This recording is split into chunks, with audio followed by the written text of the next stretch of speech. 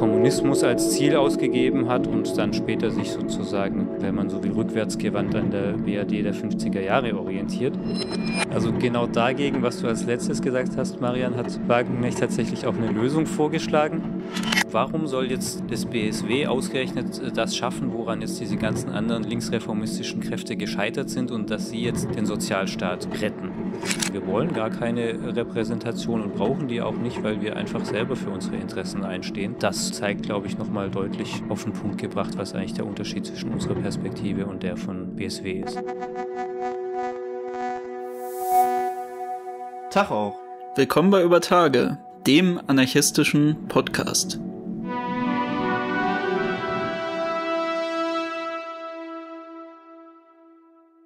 Als ich 2010 als übermüdeter 13-Jähriger mit meinem eigenen ersten Rechner nach der Schule ein, zwei Stunden im Internet verbrachte, bevor ich wieder rausging, zu den Freunden, die schon an den U-Bahn-Stationen und Innenhöfen der Wohnblocks warteten, führte mein Weg, manchmal auf Miniclip, mal Video, aber immer irgendwann auf YouTube diesen neuen Giganten der Online-Unterhaltung. Und auch wenn es meist Minecraft-Tutorials, kurze Clips oder die wenigen hochwertigen Produktionen waren, die ich schaute, und so nostalgisch mir das heute alles wirkt, wurde mir zu der Zeit klar, die Welt war weder in meinem Alltag noch im Allgemeinen irgendwie in Ordnung. Und passenderweise spülte mir der allwissende Algorithmus Reden in mein Blickfeld. Reden aus einem Gebäude mit Menschen im Publikum, die ich nur aus wütenden Tiraden meiner Familie gegen die da oben kannte. Doch die Reden im Reichstag von einer Partei waren anders als das, was ich aus der Aversion meiner Familie erwartet habe passionierte Politiker, die dem demokratischen Duckmäusertum im Namen des Volkes die Leviten lesen. Politik, die auch wenn sie komplexe Probleme, ihre historischen Ursachen ansprach, mir diese schon damals verständlich machen konnten. Die Imperialismus ansprachen, radikale Umverteilung von oben nach unten forderten und zumindest im Verständnis meines zarten 13-jährigen Geistes eine wirklich gerechte Welt errichten wollten. Diese Partei war die Linke und eine ihrer beeindruckendsten Rednerinnen für mich Sarah Wagenknecht. Wer in diesem Jahr 2010 geboren wurde, wird heute mit 13 Jahren eine ganz andere Politikerin, mit anderen Reden und anderen Forderungen in einer anderen, einer eigenen Partei vorfinden. Doch was würde dieses Kind kurz vor der Jugend wohl für seinen politischen Weg daraus ziehen? würde es wie ich sich sozialistisch einlesen, von einem kommunistischen Königreich des Himmels auf Erden träumen und seine kindlichen utopischen Träumereien schnell in realpolitischer Resignation für einige Jahre versanden lassen, sich aber schwören, sobald man alt genug ist, immerhin die Partei Die Linke zu wählen? Oder würde es einen ganz anderen Weg einschlagen?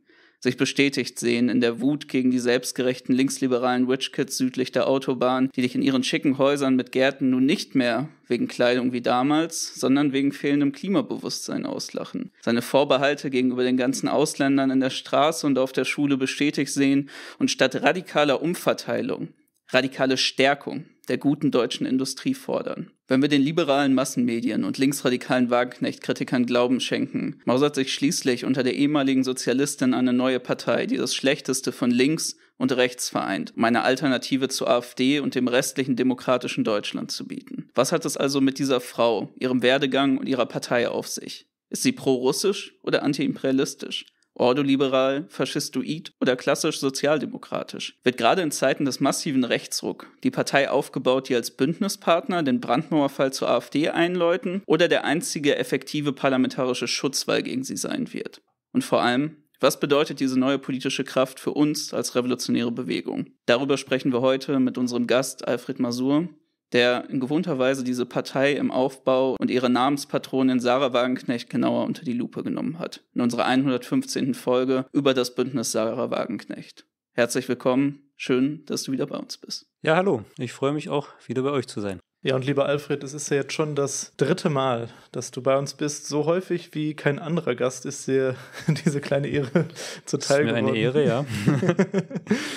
Dieses Mal ist es ja auch ein Thema, wo du wie auch bei den Themen zuvor eigentlich wieder einen spannenden Text verfasst hast. Und zwar sind wir nochmal darauf aufmerksam geworden, das mit dir zusammen zu machen, weil du auf anarchismus.de auch eine Analyse ähm, zu der neuen Partei von Sarah Wagenknecht veröffentlicht hast. Und wir wollen heute dann nochmal tiefer reinblicken. Wir hatten ja auch schon bei uns einen Livestream gemacht zum Ende der Linken, wo wir auch ein bisschen über das Bündnis Sarah Wagenknecht, ich kürze jetzt mal einfach BSW ab, dann können wir das für den Rest der Zeit auch so handhaben und haben mehr Sprechzeit. Haben wir auch schon ein bisschen über das BSW gesprochen, aber eben nur am Rande, mehr über die Linke selbst. Und jetzt wollen wir dem Ganzen nochmal richtig Raum einräumen und da ein bisschen tiefer reingehen. Und wir tun das anhand der folgenden Punkte. Und zwar zuerst werden wir über Wagenknechts politischen Werdegang sprechen, im Anschluss dann über die aktuelle politische Situation, in der das BSW entsteht. Wir gehen dann über in das Programm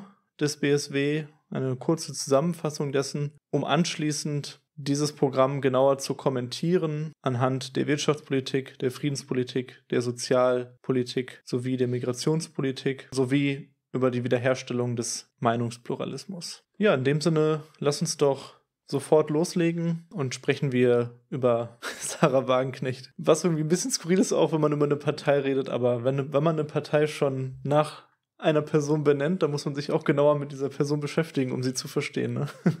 Ja, das ist richtig. Und ich fand das also schon mal sehr interessant, Joshua, wie du da in der Zeit zurückgegangen bist und auf das Jahr 2013 war es, glaube ich, äh, zurückgeblickt hast und wie du damals eben Sarah Wagenknecht wahrgenommen hast und wie sie sich bis heute entwickelt hat. Und ich denke, es ist sinnvoll, jetzt nochmal ein ganzes Stück weiter in der Vergangenheit ähm, zurückzugehen, um ihren Werdegang zu verstehen. Also ähm, Sarah Wagenknecht ist ja bekanntlich aus der DDR, ist in Jena geboren, und hat 1988 ihr Abi gemacht in Berlin, also ein Jahr vor dem Mauerfall, und ist dann im Jahr 1989 in die SED eingetreten, also im selben Jahr, wo eigentlich der Großteil der anderen Mitglieder ausgetreten ist und ähm, hat selbst ähm, gesagt, sie möchte quasi den Untergang des ähm, damaligen realen Sozialismus aufhalten, beziehungsweise als das dann klar war, dass das nicht mehr zu retten ist, quasi an, zu einer Erneuerung dieses realen Sozialismus beitragen. Und sie stellt sich sozusagen klar in so eine marxistisch-leninistische Tradition damit, hat aber neben ganz viel Marx auch die bürgerliche ähm, Aufklärung und Philosophie und Literatur, also genau studiert. Sie hat sich mit Hegel, Kant, Goethe und so weiter umfassend auseinandergesetzt und ich glaube, das ist auch nicht untypisch für die damalige Zeit und also marxistisch-leninistische Intellektuelle in der DDR, die sich ja auch quasi als so eine Art Erben des klassischen Bildungsbürgertums beziehungsweise der deutschen Klassik gesehen haben. Und in, aus so einer Tradition kommt sie eben. Sie ist dann in die PDS eingetreten und hat dort also auch schnell wichtige Ämter übernommen, war im Bundesvorstand, war dann später als Abgeordnete im Europaparlament, im Bundestag und auch stellvertretende Parteivorsitzende. Und sie hat ähm, in der PDS und auch später in der Linkspartei eigentlich immer sich dem linken Flügel ähm, zugerechnet. Von 1991 bis 2010 war sie Mitglied der kommunistischen Plattform. Diese kommunistische Orientierung hat sich dann so um das Jahr 2010 herum so langsam zu wandeln begonnen. Allmählich hat sie sich sozusagen vom Sozialismus abgewandt und ähm, einer sozialen Marktwirtschaft zugewandt, so wie man sie in den 50er bis 70er Jahren in der WAD in Westdeutschland vorgefunden hat und dann solche Theoretiker wie Werner Eucken, also die sich als Ordo-Liberale verstehen hat, waren dann wichtiger Bezugspunkt für sie. Also sie war dann für eine Privatwirtschaft, aber dafür, dass also große Monopole ähm, entflochten werden und dass dadurch wieder echter Wettbewerb ähm, möglich ist und Innovationen entstehen können können, aber auch eben starken Sozialstaat, also quasi so das Bild der alten BRD von knapp 1950er bis 1970er Jahre. Und dann kann man ja sagen, also dass zum einen in dieser Zeit schon ein deutlicher äh, Bruch zu sehen ist, also dass sie zunächst mal ähm, die klassenlose Weltgesellschaft, den ähm, Kommunismus als Ziel ausgegeben hat und dann später sich sozusagen, wenn man so will, rückwärtsgewandt an der BRD der 50er Jahre orientiert. Das ist ja schon ein deutlicher Wandel. Aber auf der anderen Seite finde ich interessant, dass wenn man genauer hinschaut, dass es da auch ähm, erstaunliche Kontinuitäten gibt von ihrer frühen Phase und der späteren älteren ähm, Wagenknecht. Also zum einen ähm, ist es ja so, dass sie nicht einfach nur die DDR wiederhaben wollte, sondern dass sie sich eigentlich auf eine ganz bestimmte Phase in der DDR positiv bezogen hat. Und das war nämlich das sogenannte neue ökonomische System, was also Walter Ulbricht in den 1960er Jahren verfochten hat. Und Ulbricht hatte damals die Diagnose, dass also der Sozialismus nur dann überleben kann, wenn er den Westen also technologisch überholt. Um das voranzutreiben, hat er also auf eine stärkere Eigenständigkeit der Betriebe gesetzt. Die konnten dann Teil ihrer Gewinne selber behalten und selber darüber verfügen, wie die investiert werden. Und es wurden auch stärkere Leistungsdifferenzierungen bei der Entlohnung eingeführt. Kurz gesagt, also es kamen gewisse Marktelemente in die Planwirtschaft hinein. Und genau das also fand ähm, Wagenknecht gut. Ziel von ähm, Ulbricht war damals vor allem also die Förderung der Mikroelektronik, also die Vorläufer dessen, was heute äh, Digitalisierung ähm, genannt werden würde. Und da hat er eben das Ziel gehabt, dass die DDR dort Weltmarktführer werden sollte und quasi dadurch eine Strahlkraft entwickeln, um den Sozialismus wirklich auch gegenüber der westlichen Konkurrenz voranzubringen. Und da haben wir schon, haben wir schon eine erste Kontinuität. Also, dass es ja damals eigentlich auch um eine Mischung von staatlicher Planung einerseits und solchen Marktelementen andererseits ging. Und auch heute, wenn Wagenknecht also dann so eine soziale Marktwirtschaft vertritt, ist das ja eigentlich auch so, dass es also einen starken Staat, der in die Wirtschaft eingreift, geben soll, aber andererseits eben diese privatwirtschaftliche Initiative. Und natürlich haben sich da die Gewichte stark verschoben. Also, der Staat hat heute eine wesentlich geringere Rolle, wie jetzt äh, das unter Walter Ulbricht Bericht äh, gewesen ist. Aber nichtsdestotrotz gibt es da, denke ich, eine Kontinuität. Und dann die zweite Kontinuität ist auch recht interessant. Also wenn man sich jetzt eben anschaut in dieser Vision von dem Ulbricht, wer ist da eigentlich der Akteur des gesellschaftlichen Fortschritts und der Befreiung? Und es ist ja nicht, wie man vielleicht ähm, vom Marxismus erwarten könnte, die Arbeiterklasse und ihre Selbstorganisation, sondern es ist der Staat, der also über den Klassen schwebt und der durch geschickte Planung und Organisation sozusagen die verschiedenen gesellschaftlichen Kräfte irgendwie lenkt lenkt und dadurch den Fortschritt ähm, herbeizuführen versucht. Und also Peter Hacks, das war ein wichtiger Dichter aus der ähm, DDR, an dem sich Wagenknecht zeitweise auch stark orientiert hat. Und der vergleicht eben diesen Ulbrichtschen Sozialismus mit dem Absolutismus, also mit dem absolutistischen ähm, Königtum. Und das hat er nicht als Kritik, sondern als Lob gemeint. Also er, er sagt, dass Ulbricht sozusagen ein Wiedergänger von Friedrich II. von Preußen oder von Katharina der Großen von Russland ähm, ist äh, die quasi auch sozusagen als aufgeklärte Monarchen versucht haben, von oben, ähm, von Staatswegen, äh, den Fortschritt der Gesellschaft voranzutreiben. Das passt doch irgendwie. Also ich finde schon, dass, dass Walter Ulbricht so Monarchen-Vibes hatte. also so skurrile deutsche Monarchen-Vibes, aber schon. Ja, und das ist ja tatsächlich etwas, was also sich dann bei ähm, Wagenknecht auch durchzieht. Also auch wenn man sich jetzt ihr heutiges Programm anschaut, dann ist da auch viel davon die Rede, dass man sozusagen die Lage der sozial Benachteiligten, der lohnarbeitenden Bevölkerung verbessern möchte. Aber es, geht ja niemals darum, dass jetzt diese Lohnarbeitenden sich selbst organisieren und selber irgendwie versuchen, ihre Lage zu verbessern, sondern es ist immer so, dass es eben eine staatliche Bürokratie oder die Regierung gibt, die halt da irgendwie für Verbesserung sorgen soll. Und deswegen würde ich sagen, dass also einerseits natürlich ähm, Wagenknecht sich im Laufe ihres politischen Werdegangs stark gewandelt hat Wahrscheinlich auch nochmal von 2013 bis jetzt 2023. Äh, das können wir uns dann ja nochmal genauer anschauen. Aber dass sie ähm, trotzdem daneben auch ähm, sich treu geblieben ist und bestimmte Elemente ähm, sich durchziehen. Und gerade dieses Element mit diesem Befreiung von oben zu denken, da haben wir auch schon einen sehr äh, großen ähm, Kritikpunkt oder Gegensatz, wo wir jetzt als anarchistische ähm, Kommunisten quasi sagen würden, das ist verkehrt und da haben wir einen ganz anderen Ansatz. Du hast ja gerade schon angemerkt, dass es den Wandel bei Wagenknecht weg von einem traditionellen Marxismus-Leninismus, einer Bezugnahme auf äh, eine bestimmte Phase der DDR-Wirtschaftspolitik hin zu einer klassischen sozialen Marktwirtschaft so im bundesdeutschen Sinne gab. Ist das auch was, weil wir werden ja auch sicherlich noch dazu kommen, das ist ja auch das, was immer sehr stark beleuchtet wurde jetzt bei Sarah Wagenknecht, der Konflikt zu der Partei Die Linke. Ist das denn ein Werdegang in ihrer politischen Haltung, den du auch in der Partei selber sehen wirst, oder ist sie da schon in Konflikt mit politischen Position innerhalb der Partei Die Linke geraten, weil zumindest ich hatte das auch mal so ein bisschen wahrgenommen, dass in der gleichen Zeit auch die Partei Die Linke weg von ähm, vielen traditionellen marxistischen Positionen, auch von einer sozialistischen Grundhaltung mehr zu, sagen wir mal, so einer klassischen linken Sozialdemokratie und so einer modernen linken europäischen Partei gegangen ist, wie wir sie heute kennen. Es gibt auf jeden Fall auch parallel quasi einen Wandel von der PDS bzw. Der, der Linkspartei.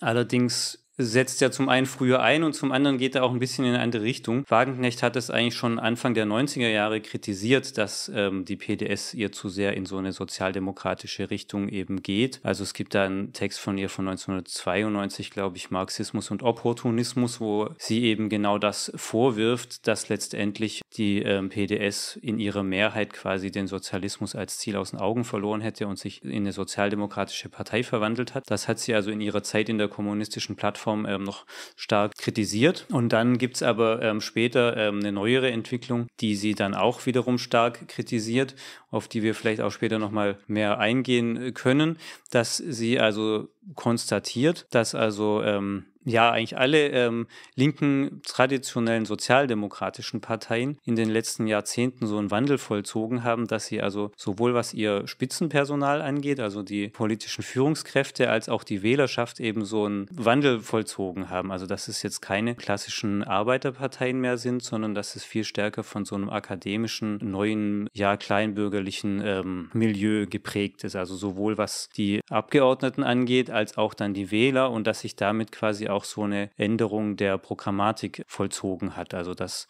auch also die SPD zum Beispiel dann seit Schröder quasi eher eine neoliberale Partei geworden ist, die dann halt vielleicht bestimmte Vorstellungen von äh, Gerechtigkeit und so weiter noch mit sich trägt, aber die ihre Bedeutung gewandelt haben. Also dass man jetzt zum Beispiel unter Feminismus versteht, dass halt es Quoten gibt in den Führungsetagen, wo dann Frauen auch stärker vertreten sein sollen, aber dass gleichzeitig eben Hartz IV eingeführt wurde und damit ein Niedriglohnsektor geschaffen, wo halt ähm, Frauen überproportional betroffen sind. Also das ist quasi quasi diese Vorstellung dann von ähm, Feminismus der SPD und das äh, kritisiert sie und da hat sie halt, ähm, also Wagenknecht, die Auffassung, dass in der Linkspartei sich quasi dieselbe Entwicklung im Zeitraffer nochmal vollzogen hat. Also dass sie jetzt, als sie so 2007 gegründet wurde, eigentlich noch eine klassisch linke Partei, die auch vor allem Leute aus der Unterschicht sozial Benachteiligte angesprochen hat, aber dass sich das eben sehr, sehr stark und sehr schnell auch gewandelt hat und dass mittlerweile ähm, die Linkspartei eben auch eine Akademikerpartei geworden ist, die sich eher auf so ein urbanes Mittelschichtsmilieu sozusagen mit ihren Forderungen, mit ihrer Rhetorik und so weiter bezieht und deswegen halt für die Unterschichten unattraktiv geworden ist und eben eigentlich in ihrer Meinung nach keine klassisch sozialdemokratische Partei mehr ist. Also das ist das, was sie jetzt über die Linkspartei sagen würde. Das ist ja auch insofern interessant, weil sie ja mit ihrem populistischen Programm gerade ja genau das wieder versucht. Also eben weite Teile der Arbeiterklasse anzusprechen. Und genau. von diesem intellektuellen Milieu zu kommen. Also da bleibt sie sich ja auch in gewisser Weise treu. Genau, also das ist, ist ihr Programm. Es ist ja also so diese linksliberale, dieses Milieu ist ja quasi schon fast ihr Hauptgegner geworden. Da hat sie ja auch ihr äh, Buch Die Selbstgerechten darüber geschrieben. Die Selbstgerechten sind eben genau solche, ja, akademische neue Mittelschichtsbürger, die sich sozusagen ja in ihrem moralischen Selbstgerechtheit ähm, gefallen und auf die Unterschicht eben naserümpfend schauen, so ähm, wie es Joshua vorhin auch schön gesagt hat, dass sie dann quasi eben halt den Unterschichten vorwerfen, dass sie nicht umweltbewusst genug sind und so weiter und selber eben das Geld haben, im Öko-Bioladen einkaufen zu können oder sowas. Das kritisiert sie, davon grenzt sie sich ab und ähm, finde, hat das auch ganz schön auf diese Formulierung gebracht, dass der Linksliberalismus Sozialismus eigentlich ähm, weder links noch liberal ist. Äh, links ist er nicht, weil er sich sozusagen nicht für die Belange der unteren Klassen interessiert. Und liberal ist er auch nicht, weil er eben in seinem Moralismus halt überhaupt keine gegenteiligen Meinungen mehr zulässt und keine offene und sachliche Debatte, sondern quasi alles, was jetzt seinem Weltbild widerspricht, als irgendwie faschistisch oder sonst wie nicht äh, indiskutabel abwertet. Und im Grunde genommen, das sagt sie selber zwar nicht, aber irgendwie finde ich, könnte man sagen, dass sie selber jetzt ähm, den wahren Linksliberalismus Feminismus quasi wieder ähm, neu erfinden möchte, weil sie ja also eine Linke insofern sein möchte, dass sie halt sich für die sozial Benachteiligten einsetzt und aber liberal in dem Sinne, dass sie das eben nicht durch irgendwie Sozialismus und ähm, Planwirtschaft und ja Enteignung der Bourgeoisie erreichen möchte, sondern durch ein marktwirtschaftliches Programm. Und natürlich auch mit einem Aufgreifen der moralischen Entrüstung von den Leuten gegenüber denen da oben und ähm, wie wir auch schon gesagt haben, gegenüber den grünen Eliten in den Großstädten. Lass uns doch dazu übergehen, wie die aktuelle politische Situation ausschaut, weil du hast es gerade schon angeschnitten, wir haben schon ein bisschen drüber gesprochen. Irgendwann kam es dann zu Konkurrenzkampf und zu ziemlichen Konflikten in der Partei Die Linke um die Person Sarah Wagenknecht.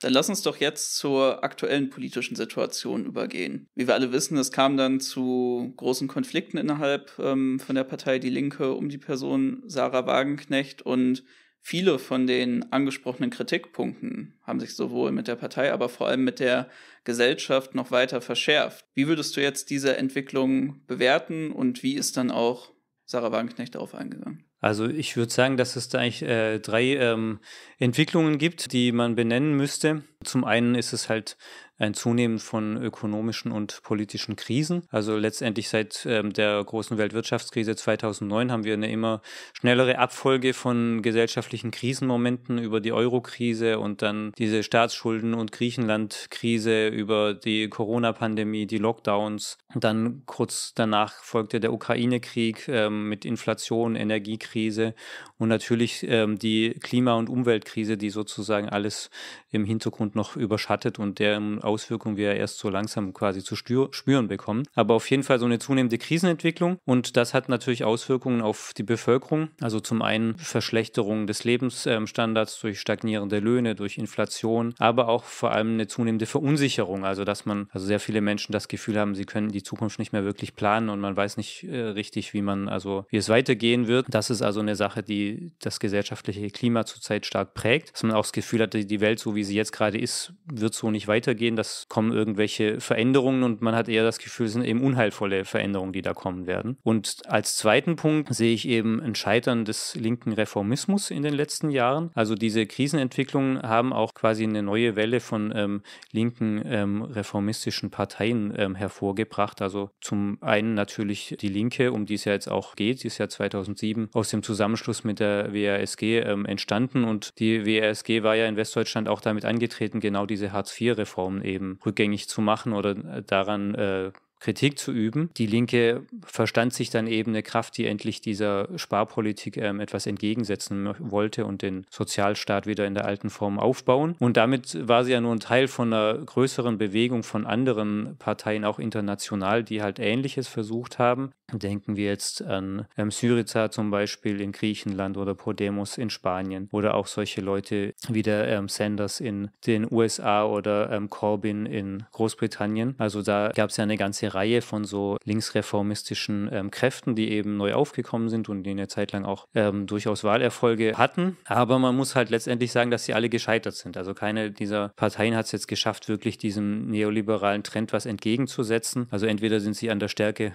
der Gegner gescheitert, wie Tsipras, der sogar die Wahl gewonnen hat, aber dann trotzdem letztendlich ähm, vor der Troika klein beigeben musste und die Sparpolitik weiterführen, die er eigentlich also beenden wollte. Oder sie sind auch gescheitert durch ihre eigene, ja, letztendlich vorsichtiges und auf parlamentarischen Weg ähm, beschränktes ähm, Vorgehen. Also das würde wohl eher für die hiesige Linkspartei zutreffen, die sich also, um irgendwie regierungsfähig zu werden, also immer stärker angepasst hat in ihrer Programmatik und quasi dann letztendlich als Protestpartei auch nicht mehr ernst genommen wurde. Und damit begann ja letztendlich auch ihr Niedergang. Und mittlerweile bei der letzten Wahl ist sie ja an der 5%-Hürde gescheitert im Bundestag und kam nur deshalb rein, weil sie eben ein paar Direktmandate errungen hat. Also das wäre der zweite Punkt, Scheitern äh, linker Reformversuche. Und das dritte wäre dann eine zunehmende gesellschaftliche Polarisierung, weil eben auf der einen Seite haben wir die Eliten, die sich also teilweise grün eingefärbt haben, was jetzt ihre Ideologie angeht, die aber den neoliberalen Kurs also genauso weiterführen wie zuvor. Aktuelles Beispiel ist ja dieses Verfassungsgerichtsurteil mit der Schuldenbremse und so weiter, dass das so nicht rechtens war und anstatt, dass sie jetzt die Regierung sich dann überlegt, ob man diese Schuldenbremse vielleicht vielleicht auch mal irgendwie loswerden könnte oder so, kommt es eben zu neuen Sparmaßnahmen, die also wieder Teile der Bevölkerung eben belasten. Und auch außenpolitisch wird eben der alte Kurs weitergeführt. Also das Bündnis mit den USA wurde gestärkt, die Zusammenarbeit in der NATO und diese Konfrontation jetzt mit Russland. Und das wurde trotz negativen Folgen auch für die eigene Wirtschaft so gemacht, die sich also jetzt anhand der Inflation und der hohen Energiepreise bedingt durch die Russland-Sanktionen ähm, zeigen. Das wäre die eine Seite. Und auf der anderen Seite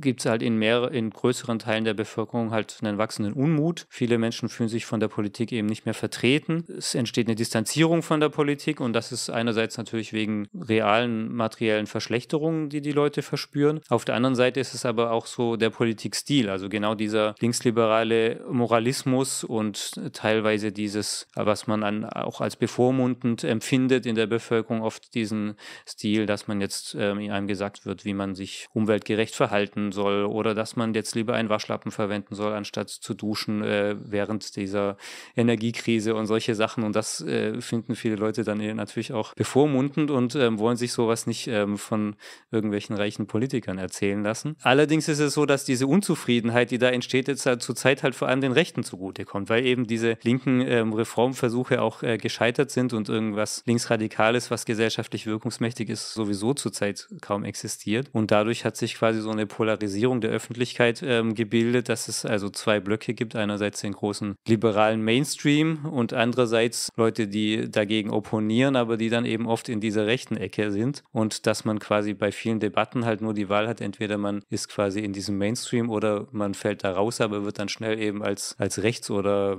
verschwörungstheoretisch oder was auch immer angesehen. Und das erschwert sozusagen einen vernünftigen und sachlichen öffentlichen Diskurs. Und dass diese drei Momente sind eigentlich das letztendlich die Konstellation, auf die jetzt diese Parteigründung trifft und auf die sie quasi mit ihrer Programmatik irgendwie auch eingehen möchte. Das ist ja auch eine Entwicklung, die man in diversen Staaten der Welt, vor allem vielen westeuropäischen Staaten, genauso sehen kann, wie du es eben mit den linksreformistischen Kräften und dann in der neuen rechtspopulistischen Welle angesprochen hast. Aber gleichzeitig finde ich es auch spannend, dass es in Deutschland ja für die Linke nochmal besonders destruktiv war, eben auch dahingehend, dass eben mit der Trennung zwischen West- und Ostdeutschland, die Linke war ja auch schon immer eine Partei, die allen voran in Ostdeutschland besonders stark war, neben jetzt mal vielleicht noch den westdeutschen Stadtstaaten, wo sie dann auch mal gute zweistellige Ergebnisse erzielen konnte. Und gerade da, und gerade da hat sie dann auch extrem viele Stimmen eben an den Rechtspopulismus verloren und konnte sich da dann, wenn überhaupt, noch in einzelnen Bundesländern wie beispielsweise in Thüringen da halten. Und ähm, das wird sicherlich dann ja auch nochmal eine besondere Motivation für Sarah Wagenknecht gewesen sein, weil eben eben daran ja die Partei gerade wirklich sowohl auf Landes-, aber auch auf Bundesebene zugrunde geht. Auf jeden Fall. Also da ähm, merkt man das sehr deutlich, dass eben die Linkspartei nicht mehr als Protestpartei ähm, oder als Partei der kleinen Leute quasi in Ostdeutschland ähm, wahrgenommen wird, wie sie das also in den 90er Jahren sicherlich noch wurde oder Anfang der 2000er und stattdessen eben tatsächlich dann die AfD davon profitiert. Mein Eindruck ist auch von dem, wie sich die Partei bisher darstellt und was auch Wagenknecht in den Fokus rückt, dass wir werden uns ja gleich das Programm nochmal genauer anschauen, aber dass dieser Punkt, diese Abgrenzung von diesem liberalen Mainstream sehr, sehr, sehr stark im Vordergrund steht. Also steht für, für die Wagenknecht-Partei und Wagenknecht selber meist gar nicht die eigenen Inhalte im Vordergrund, sondern einfach nur dieses Kontra gegen diesen liberalen Nationalismus, der halt hegemonial ist, mit dem gleichen Abendzug und dann zu sagen, aber wir sind halt auch nicht wie die AfD. So, wir wollen halt die Kritik an diesem Status quo formulieren, aber wir sind halt nicht die AfD. Das ist eigentlich so die Primärposition, über die sich BSW und Wagenknecht selber eigentlich, finde ich, gerade positionieren und auf die aktuelle politische Situation eingehen. Ja, und äh, also Wagenknecht rechtfertigt dieses Vorgehen auch, weil sie jetzt zum Beispiel in ihrem Buch Die Selbstgerechten auch darauf eingeht, ob es vielleicht einen Linksliberalismus geben könnte, der also nicht neoliberal ist. Also sprich irgendwie sowas wie ähm, eine linke SPD, die, was jetzt quasi ihre Rhetorik angeht, angeht und so weiter, klassisch linksliberal ist, also die zum Beispiel gendern beim Sprechen und sich für Klimaschutz und für Flüchtlingshilfe interessieren, aber andererseits eben klar auch sozialpolitische Forderungen wie höherer Mindestlohn und so weiter stellen. Sie sagt, dass das nicht funktionieren wird, weil wenn jetzt diese Sprache, dieser Gestus und dieser Habitus quasi noch dieses aus diesem linksliberalen Mittelschichtsmilieu stimmt, stammt, dann werden die Leute das einem nicht abkaufen. Selbst wenn man dann Forderungen hat, die also quasi den ärmeren Schichten auch entgegenkommen, sobald die das hören, äh, diese Sprache und so weiter, dann werden sie sofort misstrauisch und merken, okay, das sind nicht unsere Leute und die, die wollen wir nicht wählen. Und deswegen sagt sie auch bewusst, wir müssen eine Sprache finden und ähm, einen Habitus quasi, der halt die kleinen Leute anspricht. Und deswegen ist es ganz, ganz wichtig, dass wir uns von diesem linksliberalen Mainstream abgrenzen und zwar nicht nur über unsere Forderungen, sondern auch über unser Auftreten. Aber sprechen wir denn dann hier nur von Sprache oder ist das was, was sich dann auch wirklich stark inhaltlich niederschlägt. Weil das ist ja auch die Kritik, die immer Frau Wagenknecht und vor allem jetzt auch dem Bündnis, was sich um sie formiert, entgegengeworfen wird, dass es eben hierbei nicht nur um eine sprachliche Abgrenzung geht. Sowas, was wir ja auch wahrscheinlich wir alle drei, die hier sitzen, fordern würden, wo wir immer wieder sagen, wir müssen eben unsere Sprache, je nachdem, welches Milieu, welchen Teil der Gesellschaft man anspricht, auch daran anpassen und man muss auch einfach immer kulturell dafür sensibel bleiben. Oder ist das jetzt auch wirklich sowas, dass beispielsweise, da werden wir ja sicherlich jetzt beim Programm, kannst du uns da einen guten Überblick drüber geben, dann auch bei Themen Queer, Rassismus, Feminismus dann auch richtige Abstriche sehen. Also ich denke, dass es bei Wagenknecht sehr oft bei vielen Themen so ist, dass sie quasi richtige Kritikpunkte anbringt, also an der herrschenden Politik und auch an diesem linksliberalen ähm, ja, in dieser Denkweise, aber dass es dann eben, also diese Lösungen, die sie dann bringt, tatsächlich oft halt in eine verkehrte Richtung gehen und tatsächlich dann auch inhaltlich teilweise eine reaktionäre Wendung annehmen. Also vor allem äh, sehe ich das ähm, bei der Migrationspolitik. Darauf können wir ja später noch eingehen. Aber es ist halt ganz oft diese Konstellation. Einerseits ähm, werden Punkte benannt, die auch wirklich problematisch sind. Dann wird aber in einer Weise damit umgegangen, wo äh, ich dann oft das Gefühl bekomme, das geht eben in eine falsche Richtung. Dann lass uns doch mal reingehen in das Programm des BSW. Gib uns doch schon mal eine kurze Zusammenfassung, bevor wir dann auf die einzelnen Punkte intensiver eingehen. Ja, also es äh, gibt noch kein Parteiprogramm. Es gibt bisher ähm, ein Gründungsmanifest, was also vier Seiten lang ist, also ziemlich knapp. Das ist und aber dürftig. kann man so sagen, aber ich finde, man kann da auch schon durchaus eine Richtung entnehmen. Also so schlecht ist es dann auch wieder nicht, um sich ein Bild zu machen. Also sind vier Punkte. Erstens vernünftige Wirtschaftspolitik, zweitens Frieden, drittens soziale Gerechtigkeit und viertens Freiheit. Die ähm, vier Punkte umreißen sozusagen die Position der künftigen Partei und äh, bei der vernünftigen Wirtschaftspolitik. Da geht es also zum einen um ein Ende der Russland-Sanktionen. Also man solle einen Ausgleich mit Russland finden und dadurch ähm, die Möglichkeit haben, wieder an günstige Energie heranzukommen, um den deutschen Wirtschaftsstandort nicht weiter ähm, zugrunde zu richten. Was die Ökologie angeht, ähm, sieht sie durchaus das Problem des Klimawandels und so weiter, aber ähm, ist der Meinung, dass man jetzt nicht durch äh, Verteuerung der Energie die Bevölkerung und die Wirtschaft weiter belastet belasten sollte, sondern eher auf technologische Innovationen ähm, setzen, was gerade so einem Hochtechnologieland wie Deutschland eigentlich gut zu Pass kommt und dadurch Möglichkeiten finden, wie man quasi Energie umweltfreundlicher gewinnen kann. Dazu kommt dann noch so Forderung nach Entflechtung von Großkonzernen, diese antimonopolistische Tendenz, was quasi auch bei diesem Ordo-Liberalismus schon angesprochen wird. Wobei ich das interessant finde, dass jetzt in diesem Programmentwurf als Beispiele nur amerikanische Großkonzerne wie ähm, Amazon oder Microsoft oder BlackRock ähm, genannt werden, aber jetzt nicht irgendwie Siemens oder Daimler-Benz oder ThyssenKrupp. Das fand fand ich schon mal bemerkenswert. Ja, also das wäre im Wesentlichen die vernünftige Wirtschaftspolitik. Was den Frieden angeht, wird also als äh, große Bedrohung ähm, für den Frieden eben diese gegenwärtige Konfrontation zwischen NATO und Russland, die sich vor allem in der Ukraine zeigt, aber die auch die Gefahr eben einer Eskalation bis hin zu einem Weltkrieg äh, in sich birgt, als Bedrohung gesehen. Und da wird gesagt, also um dem zu entkommen, soll ähm, Deutschland und Europa sich sozusagen von dieser starken äh, Bindung an die USA lösen und soll unabhängiger auftreten und ähm, quasi von dieser aggressiven NATO-Politik ähm, weg und ein eigenes Militärbündnis äh, schaffen. Also das ist jetzt nicht so genau ausgedrückt, ob man die NATO abschaffen will und was Neues schaffen oder die da sehr stark umwandeln, aber auf jeden Fall geht es darum, dass das Militär also zur Landesverteidigung durchaus ähm, erwünscht ist, aber nicht als Machtinstrument für geopolitische Interessen missbraucht werden soll. Das wäre der Punkt Frieden. Dann gibt es noch den Punkt soziale Gerechtigkeit und ähm, damit ist gemeint also genau das zu erreichen, wo die ganzen anderen linksreformistischen ähm, Ansätze der letzten 20 Jahre gescheitert sind, nämlich den Sozialstaat ähm, in seiner alten Form wiederherzustellen und mindestens Hartz IV äh, rückgängig zu machen, wenn nicht äh, noch ähm, weiter zurückzugehen und den Sozialstaat sozusagen wieder in alter Form restaurieren. Okay, dann noch der vierte Punkt. Ähm, Freiheit meint in dem Fall sowas wie Freiheit der öffentlichen Debatte und Kontroverse, also dass man äh, offen sagen kann, was man denkt und seine Meinung äußern und sich streiten auch mit anderen Leuten, die eben andere Meinung sind. Und da haben sie eben, wie gesagt, die Analyse, dass das zurzeit nicht ähm, gut möglich ist. Und ähm, zwar wird als Problem nicht nur der erstarkende ähm, Rechtspopulismus und äh, diese rassistischen Hetzreden, äh, die quasi das Klima vergiften, genannt, sondern auch ähm, eben der Linksliberalismus mit seinem ja, Moralismus, seiner Cancel Culture und so weiter. Und das müsste, sollte man halt durchbrechen, genau äh, wie wir es auch schon gesagt haben, dadurch, dass eben versucht wird, Kritik an der Regierung zu üben und dass das äh, Bündnis Sarah Wagenknecht also Punkte aufgreift, die also auch von anderen so gesehen werden, aber eben klar sich dann von rechts abgrenzt und dadurch quasi einfach einen, einen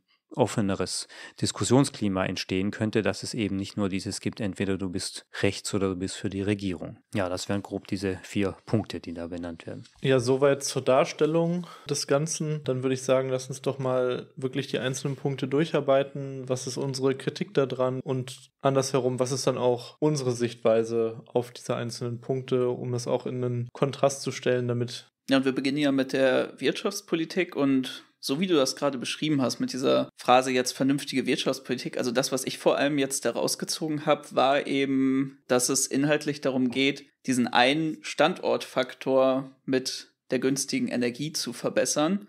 Also das ist ja jetzt sowas, was man eigentlich von diversen Kreisen, also gerade die AfD macht sich stark, aber es gibt ja auch verschiedene Vertreter aus der Wirtschaft, die immer wieder das anmerken, das ist gerade das, wo wir ran zu knacken haben. Die Energie ist seit dem russisch-ukrainischen Krieg deutlich teurer geworden. Sonst ist es ja auch eigentlich so, wenn man sich das anguckt, Deutschland hat eigentlich sehr viele Standortvorteile, zentrale Lage, Billiglohnland, gleichzeitig gut ausgebildete Arbeitskräfte. Aber das ist immer so das, was angemerkt wird. Jetzt frage ich mich aber, wenn ich das so höre, das ist ja jetzt nicht wirklich ein Alleinstellungsmerkmal. Also du hast ja schon so ein bisschen den Werdegang von der Wagenknecht beschrieben. Könnte man sich das dann jetzt dann auch so vorstellen, dass wirtschaftspolitisch dann beispielsweise auch eine stärkere Steuerung durch den Staat gefordert wird? Dass man vielleicht so wie manche Parteien das machen, sich dann an einem chinesischen Weg orientieren könnte, dass man sich das so vorstellt? Oder was wäre jetzt tatsächlich da das Alleinstellungsmerkmal? Weil das ist ja jetzt eigentlich erstmal nicht viel. Also was die ähm, stärkere Steuerung durch den Staat angeht, also das ist tatsächlich so, dass sie ähm, da durchaus, also jetzt in diesem ähm, kleinen Manifest steht da nicht viel drüber drin, außer dass eben gesagt wird, ja, man sollte quasi zu große Konzernmacht äh, brechen und der Staat sollte dafür sorgen, dass eben da nicht einzelne Marktteilnehmer zu viel Macht bekommen. In dem Buch Die Selbstgerechten, da gibt es da noch ein paar mehr ähm, Ideen dazu, also auch jetzt im Hinblick auf Ökologie fand ich ganz interessant, dass also gefordert wird, dass der Staat eingreifen soll und die Konzerne dazu zwingen, dass sie ihre Produkte langlebiger machen, was ja durchaus möglich wäre. Und es ist ja auch so, dass viele Produkte auch bewusst so konstruiert sind, dass sie nach ein paar Jahren kaputt gehen und dass man sowas quasi auch durch staatliche Eingriffe ja umgehen könnte aber das ist alles weit entfernt von so einer chinesischen ähm, Vorstellung. Also so stark möchte sie jetzt da keine Staatseingriffe haben. Was diesen Punkt mit der billigen Energie angeht, würde ich sagen, es stimmt, es ist kein Alleinstellungsmerkmal, dass das gefordert wird. Also die AfD fordert das auch. Und auch in der Industrie gibt es also durchaus Stimmen, die halt ähm, da den aktuellen Kurs der Regierung stark ähm, kritisieren. Also der BASF-Chef äh, äh, Bruder Müller hat schon kurz nach dem Beginn des Ukraine-Kriegs also gesagt, wollen wir sehenden Auges unsere ganze Volkswirtschaft zerstören. Also der war sehr, sehr entschieden gegen diese ähm, Russland-Sanktionen. Aber man muss doch sagen, dass also dieser, diese Unzufriedenheit, die sich auch gerade in der Wirtschaft ähm, damit zeigt, bisher in der offiziellen und etablierten Politik so nicht findet. Also es gibt also in den etablierten Parteien jetzt ähm, keine Forderungen, dass man diese Sanktionen irgendwie beenden sollte, dass man das Verhältnis zu Russland irgendwie normalisieren sollte. Und es gibt darüber auch keine wirkliche ähm, Debatte in den Mainstream-Medien. Und das ist ähm, meiner Ansicht nach schon auch ein bisschen merkwürdig. Weil wenn man jetzt sagt, okay, die äh, Regierung oder die bürgerlichen Parteien sind sozusagen der politische Arm der Bourgeoisie und die bürgerlichen Medien sind sowas wie das Forum, wo quasi die Bourgeoisie sich auch austauschen kann über ihre Interessen, dann würde man ja schon erwarten, dass es da irgendwie eine Debatte gibt. Okay, was ist jetzt für unseren Wirtschaftsstandort eigentlich die beste Strategie und sollen wir uns tatsächlich da stärker an den USA anlehnen oder sollten wir eher versuchen, unabhängig zu sein oder uns mit Russland wieder äh, auszusöhnen? Und das findet aber in der offiziellen Debatte wenig statt. Und deswegen denke ich schon, dass Wagenknechts Partei da irgendwie quasi was, in gewisser Weise was Neues in die Debatte bringt. Insofern zumindest, dass das eben diese Stimmen jetzt nicht von der AfD oder von rechts außen kommen, sondern eben von einer anderen Seite. Ja, nun ist jetzt natürlich spannend, was denken wir dazu? Was ist vielleicht auch unsere Kritik an diesem Vorbringen äh, dieses, dieses neuen Diskussionspunkt in dieser Debatte, die ja jetzt, wie du es ja auch beschrieben hast, in der hegemonialen Politik nicht ähm, stattfinden. Und an und für sich würde ich erstmal sagen, für mich persönlich spricht jetzt eigentlich nichts dagegen, wieder irgendwie in irgendeiner Form eine, eine wirtschaftliche Zusammenarbeit mit Russland zu haben, weil es ist für mich völlig scheißegal, ob das Gas jetzt aus Russland kommt oder ob das Gas irgendwo aus Katar kommt oder so. Der Unterschied ist, dass das Gas aus Russland extrem viel günstiger ist, weil dort über Jahrzehnte ähm, die Zusammenarbeit mit Russland eben äh, kultiviert wurde, diese ganzen Gaspipelines gebaut wurden, wo das Gas einfach durchgeschossen wird und über den Weg, wie es jetzt ähm, aufgebaut wird, muss ja die gesamte Infrastruktur neu gebaut werden, auch unter sehr klimaschädlichen ähm, Bedingungen, die noch da drauf kommen und unter viel teureren Bedingungen. Das heißt, an und für sich spricht jetzt erstmal ähm, nichts Übernatürliches dagegen, das jetzt auf diesem alten Weg wieder zu tun. Ja, ich würde da dann eigentlich sogar sagen, dass es tatsächlich Auswirkungen auf uns als Klasse hat, wie du es angesprochen hast. Also wir reden ja davon, dass nicht nur für die Industrie, sondern auch für die Haushalte, das haben wir ja alle gespürt. Gerade jetzt, wenn die Preisbremsen auslaufen, dieses Jahr wird es ja nochmal besonders hart. Für Leute, die beispielsweise auch ähm, mit Heizöl heizen, nochmal krasser, dass es einfach für uns alle viel teurer geworden ist. Deswegen würde ich das auch sagen und ich würde es auch nochmal so knallhart formulieren jetzt von der moralischen Seite. Da geht es jetzt gar nicht darum, Ihr wisst alle, was unsere Position natürlich zum russischen Imperialismus ist. Aber ob das Gas jetzt aus den Golfstaaten bezogen wird, die auch, man könnte es fast sagen, einen Vernichtungskrieg gegen den Jemen führen, so, wo wirklich Zehntausende, Hunderttausende Menschen bei sterben, oder ob das Gas jetzt ähm, von einem Land wie Russland bezogen wird, was auch, ja, Krieg gegen ähm, die Ukraine führt, wo Zehntausende Menschen sterben. Da muss man auch sagen, da wird dann wirklich mit zweierlei Maß gemessen. Was ich vielleicht auch sogar noch spannend finde, ist das, was du angesprochen hast mit ähm, eben staatlichen Eingriffen bei sowas wie ähm, Langlebigkeit von Produkten. Also das einfach, das klingt eigentlich fast so, als würde sie das auch als Kontinuität aus so einem DDR-Sozialismus ziehen. Damals, da haben die Produkte wirklich noch lange gehalten. Und ich finde es auch ganz spannend, weil ich habe ähm, vor ein paar Jahren auch mal ein Interview mit Wagenknecht gesehen. Das ist wirklich was, was mir auch im Kopf geblieben ist. Das war, glaube ich, wirklich so am Anfang, äh, wo sie dann hier äh, angefangen hat, ihr Buch zu schreiben, die Selbstgerechten, wo sie dann meinte, dass sie eigentlich dafür wäre, dass auf europäischer Ebene beispielsweise durchgesetzt wird, dass es eine Garantie von bis zu zu zehn Jahren auf Produkte geben muss, die dann eben in diesem Zeitraum auch wirklich zurückgegeben werden können, wenn was kaputt geht, weil es eigentlich nicht sein kann, dass beispielsweise Smartphones so kurz halten. Das sind ja alles ähm, neben diesem großen Punkt kleine nette Sachen, aber trotzdem würde ich dann auch noch sagen, abgesehen davon ist da wirklich jetzt nicht viel an ja irgendwie in unserem Sinne gerichteter Wirtschaftspolitik.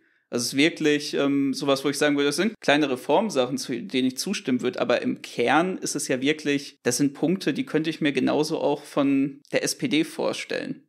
Nur, dass die natürlich jetzt die Regierungslinie vertritt. Und was man ja auch noch dazu fügen muss, ist, dass bei dem zweiten Punkt des Eingriffs in die Wirtschaft, um diese geplante Obsoleszenz ein Stück weit rauszubekommen, dass ja auch sehr fragwürdig ist, ob das überhaupt realistisch ist im Kontext dieses Systems, weil die Sachen würden dann ja, werden ja sowieso halt irgendwo zum Beispiel in China produziert und als wenn jetzt halt irgendwie der deutsche Staat chinesischen Unternehmen vorschreiben könnte, diese geplante Obsoleszenz rauszunehmen und wenn das halt auf die deutschen Unternehmen, die auch noch hier produzieren, vorgeschrieben werden würde, dann würden die halt sagen, sagen, ja, okay, Leute, fickt euch, wir verlagern halt auch noch den Rest unserer Produktion halt irgendwo anders hin, wo wir das halt machen können, weil das halt mega essentieller Part der kapitalistischen Produktion ist, um halt Gewinn zu scheffeln. Also genau dagegen, was du als letztes gesagt hast, Marian, hat Wagenknecht tatsächlich auch eine Lösung vorgeschlagen. Und zwar, dass man eben Einfuhrzölle ähm, einführt, welche also gestaffelt sind, je nachdem, wie umweltschädlich zum Beispiel in einem anderen Land produziert wird. Also dass man quasi, äh, wenn jetzt eine, ein Unternehmen seine Produktion auslagert, auslagert, um halt weiterhin die Umwelt verpesten zu können,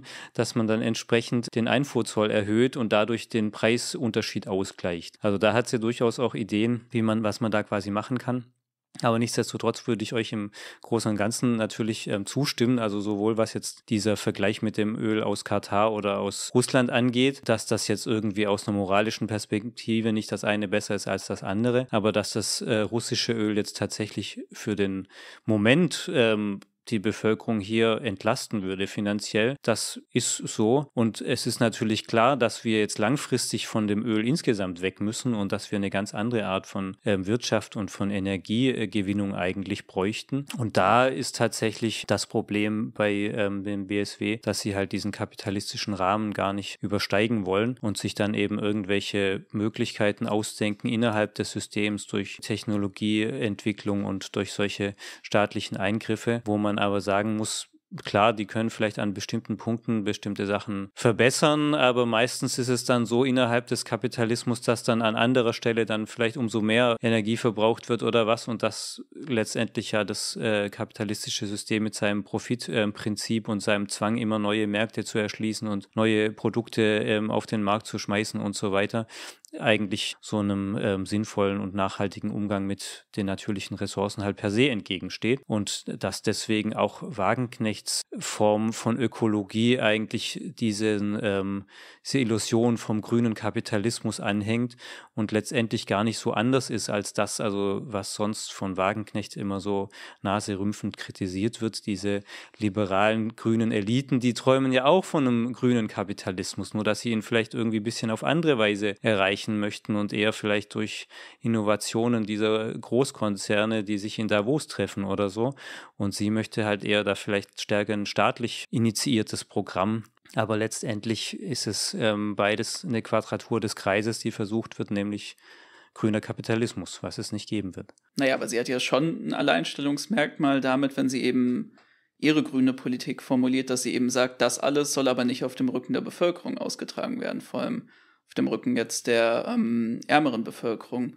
Weil das ist ja was, was dann auch stark kritisiert wird, wie diese Maßnahmen angegangen werden, dass beispielsweise ähm, Verteuerung, beispielsweise bei ähm, tierischen Lebensmitteln oder dann auch bei Benzin, bei bestimmten klimaschädlichen Heizungstypen, Technologien, dann eben nicht auf die Firmen, sondern auf die einfachen Arbeiter abgewälzt wird. Also das stimmt und ich denke, damit hat sie auch recht dass sie eben genau das kritisiert. Aber ich habe halt den Eindruck, dass es auch so ein bisschen darauf hinausläuft, dass sie sagt, ja, jetzt brauchen wir erstmal zum Beispiel wieder dieses ähm, billige Gas oder jetzt müssen wir erstmal irgendwie Subventionen nicht äh, kürzen und so weiter und die Bevölkerung und auch die Unternehmen entlasten. Und irgendwann später können wir dann durch neue Technologien halt dann die grüne Wende schaffen, aber dass dieses irgendwann später dann irgendwie auch wegfällt und dass es letztendlich darauf hinausläuft, dass alles bleibt, wie's, wie es ist und mhm. dass dann mit ähm, Ökologie gar nicht mehr so viel ist. Und deswegen, also klar, diese Kritik an der aktuell herrschenden Umweltpolitik und ihrer Belastung der Bevölkerung, da würde ich auch zustimmen. Aber halt das, was sie dann stattdessen vorschlägt, ist letztendlich keine Ökologie mehr. Ja, ich denke, das wird auch eine Kritik sein, die jetzt auch in den folgenden Punkten immer wieder eine Rolle spielen wird, dass wir einfach an vielen Stellen sagen, ja gut, vielleicht ist punktuell die Kritik, die Wagenknecht formuliert, die teilen wir ja sogar, aber die Lösungen, die vorgeschlagen werden, sind dann halt in der gleichen Form systemimmanent in der gleichen Form innerhalb des Parlamentarismus, innerhalb der kapitalistischen Logik halt angelegt, die auch punktuell ja von irgendwelchen SPD-Lern, CDU-Lern, FDP-Lern oder Grünen, wenn sie mal einen guten Tag haben, auch solche irgendwelche innovativen Ideen für irgendeine tolle Reform angebracht werden. Es bringt halt nur alles nichts, weil das halt nie oder nur ganz begrenzt umgesetzt wird und das ja auch unsere grundsätzliche Position ist, dass wir sagen würden, wenn wir all diese großen Fragen unserer Zeit, die die BSW ja aufwirft, wirklich verändern wollen, dann geht das ja nur mit einem konsequenten Bruch auch letztendlich mit diesen Zuständen, die genau diese Problematiken hervorbringen, die vom BSW kritisiert werden. Und was ja auch von diesem System immer mehr wieder hervorgebracht wird, ist der Krieg. Und das ist ja auch ein wichtiges Thema für äh, BSW, speziell die Konfrontation Russland-Ukraine. Ja, also was ähm, das Thema Krieg und Frieden angeht, ist es auch wieder so, dass ich erstmal Wagenknechts Kritik ähm, an den Zuständen ähm, weitgehend zustimmen würde. Also es stimmt, es ist ein riesiges Übel und ähm, furchtbar, dass jetzt in der Ukraine Hunderttausende von Menschen auf beiden Seiten sterben, einfach nur weil da zwei imperialistische äh, Blöcke gegeneinander stehen und jeweils ihren Einflussbereich ausweiten wollen und dass wir davon weg wollen, dass wir das also beenden möchten. Und was ähm, dann das BSW ja vor vorschlägt, ist im Grunde so ein unabhängiges Deutschland bzw. Europa, was quasi aus dieser NATO-Politik ausschert, abrüstet und die Armee nicht mehr für imperiale geopolitische Interessen einsetzt.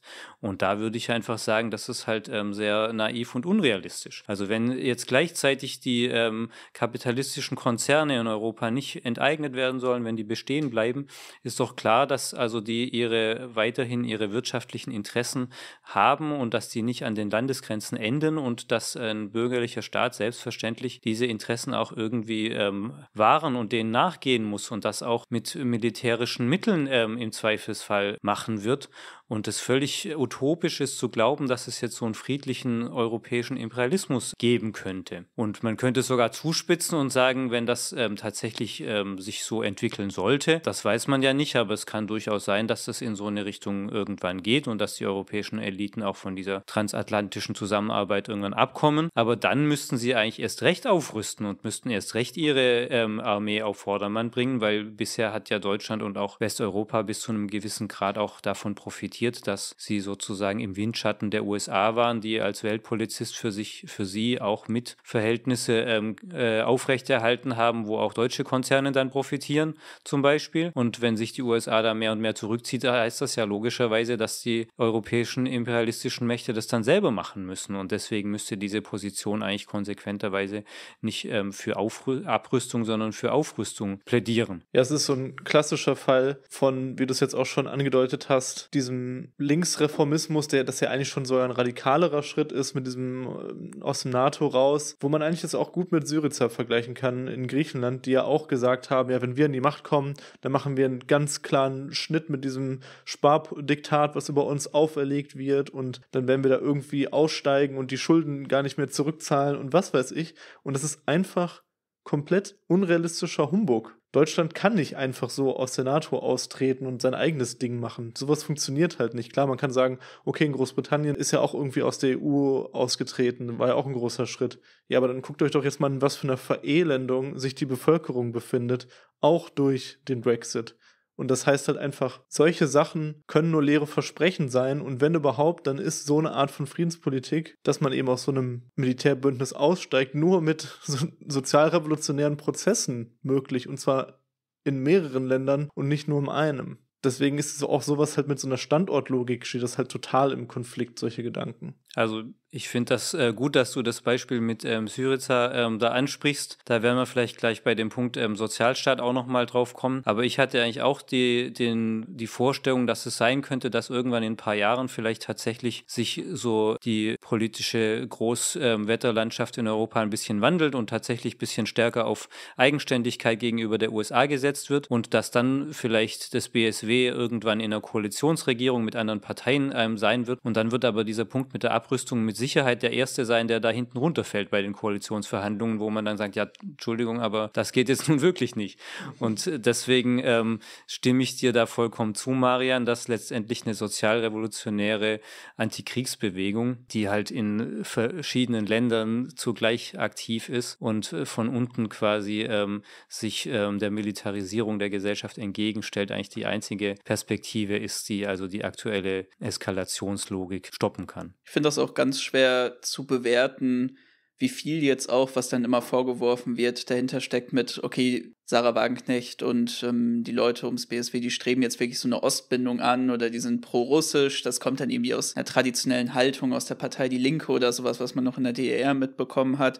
Das ist ja auch immer so ein bisschen das, was jetzt bei der AfD vorgeworfen wird, wo ich sagen würde, dass man da sicherlich noch wirklich auch mehr Ideologen hinter hat, die sagen würden, ja, Russland, das ist doch eben dieses äh, erzkonservative Land, das stärkt doch überall ähm, rechte Bewegung auf der Welt und so wie die das mit dem Staat selber machen, das sind unsere Freunde, das sind unsere Verbündeten. Guckt doch mal, wie es eigentlich in den USA ausschaut. Aber was ich nämlich glaube, was ähm, vielmehr auch so ein bisschen hinter dieser Friedenspolitik für ein Kalkül steckt, das ist auch einfach so ein Aufgreifen von diesem populistischen Moment gegen den Krieg.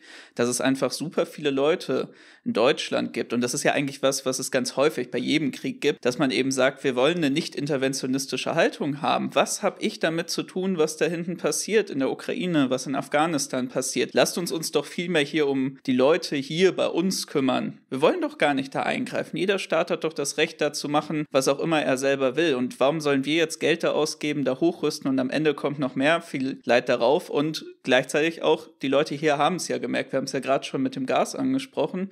Und ich glaube, das ist dann was, was sich auch in so eine Friedenspolitik wie da dann einfach überträgt, weil es ist nun mal so. Die Linke hat hier und da mal im Bundestag, glaube ich, so bei bestimmten Waffenlieferungen auch Kritik geübt. Die haben gesagt, keine Leopard 2 Panzer mehr. Das ist irgendwie, ich hatte es nochmal nachgelesen, haben sie gesagt, das ist der größte Panzer der Welt. Das ist äh, ganz schlimm, den jetzt dahin zu liefern. Aber sonst war es ja wirklich nur die AfD, die gesagt haben, ey, Leute, Russland, Ukraine, da gibt es eine Vorgeschichte. Und vor allem, was haben wir jetzt damit zu tun? Das passt uns so nicht. Und da kann sie natürlich dann dieses populistische Moment aufgreifen. Ja, das, das ist richtig. Also da äh, zeigt sich zum Beispiel auch besonders deutlich dieser Bruch, der innerhalb der Linkspartei sich dann auch vollzogen hat. Und dass man diskutiert ja auch manchmal, ob die äh, BSW, ob das jetzt eine Rechtsabspaltung oder eine Linksabspaltung von der Linkspartei quasi ist. Das ist, glaube ich, eine Mischung. Also was jetzt die Friedenspolitik angeht, da steht sie quasi dann schon links, weil sie halt tatsächlich noch solche Forderungen, keine keine Waffenlieferungen und äh, keine Auslandseinsätze und so weiter erheben, die jetzt halt bei der alten Linkspartei mittlerweile nicht mehr ernsthaft vertreten werden. Aber bei anderen Punkten, zu denen wir vielleicht noch kommen werden, wie mit Migrationspolitik, wird sie klar rechts von der Linkspartei natürlich stehen. Diesem Vorwurf, dass ähm, Wagenknecht oder BSW dann so pro-russisch sei,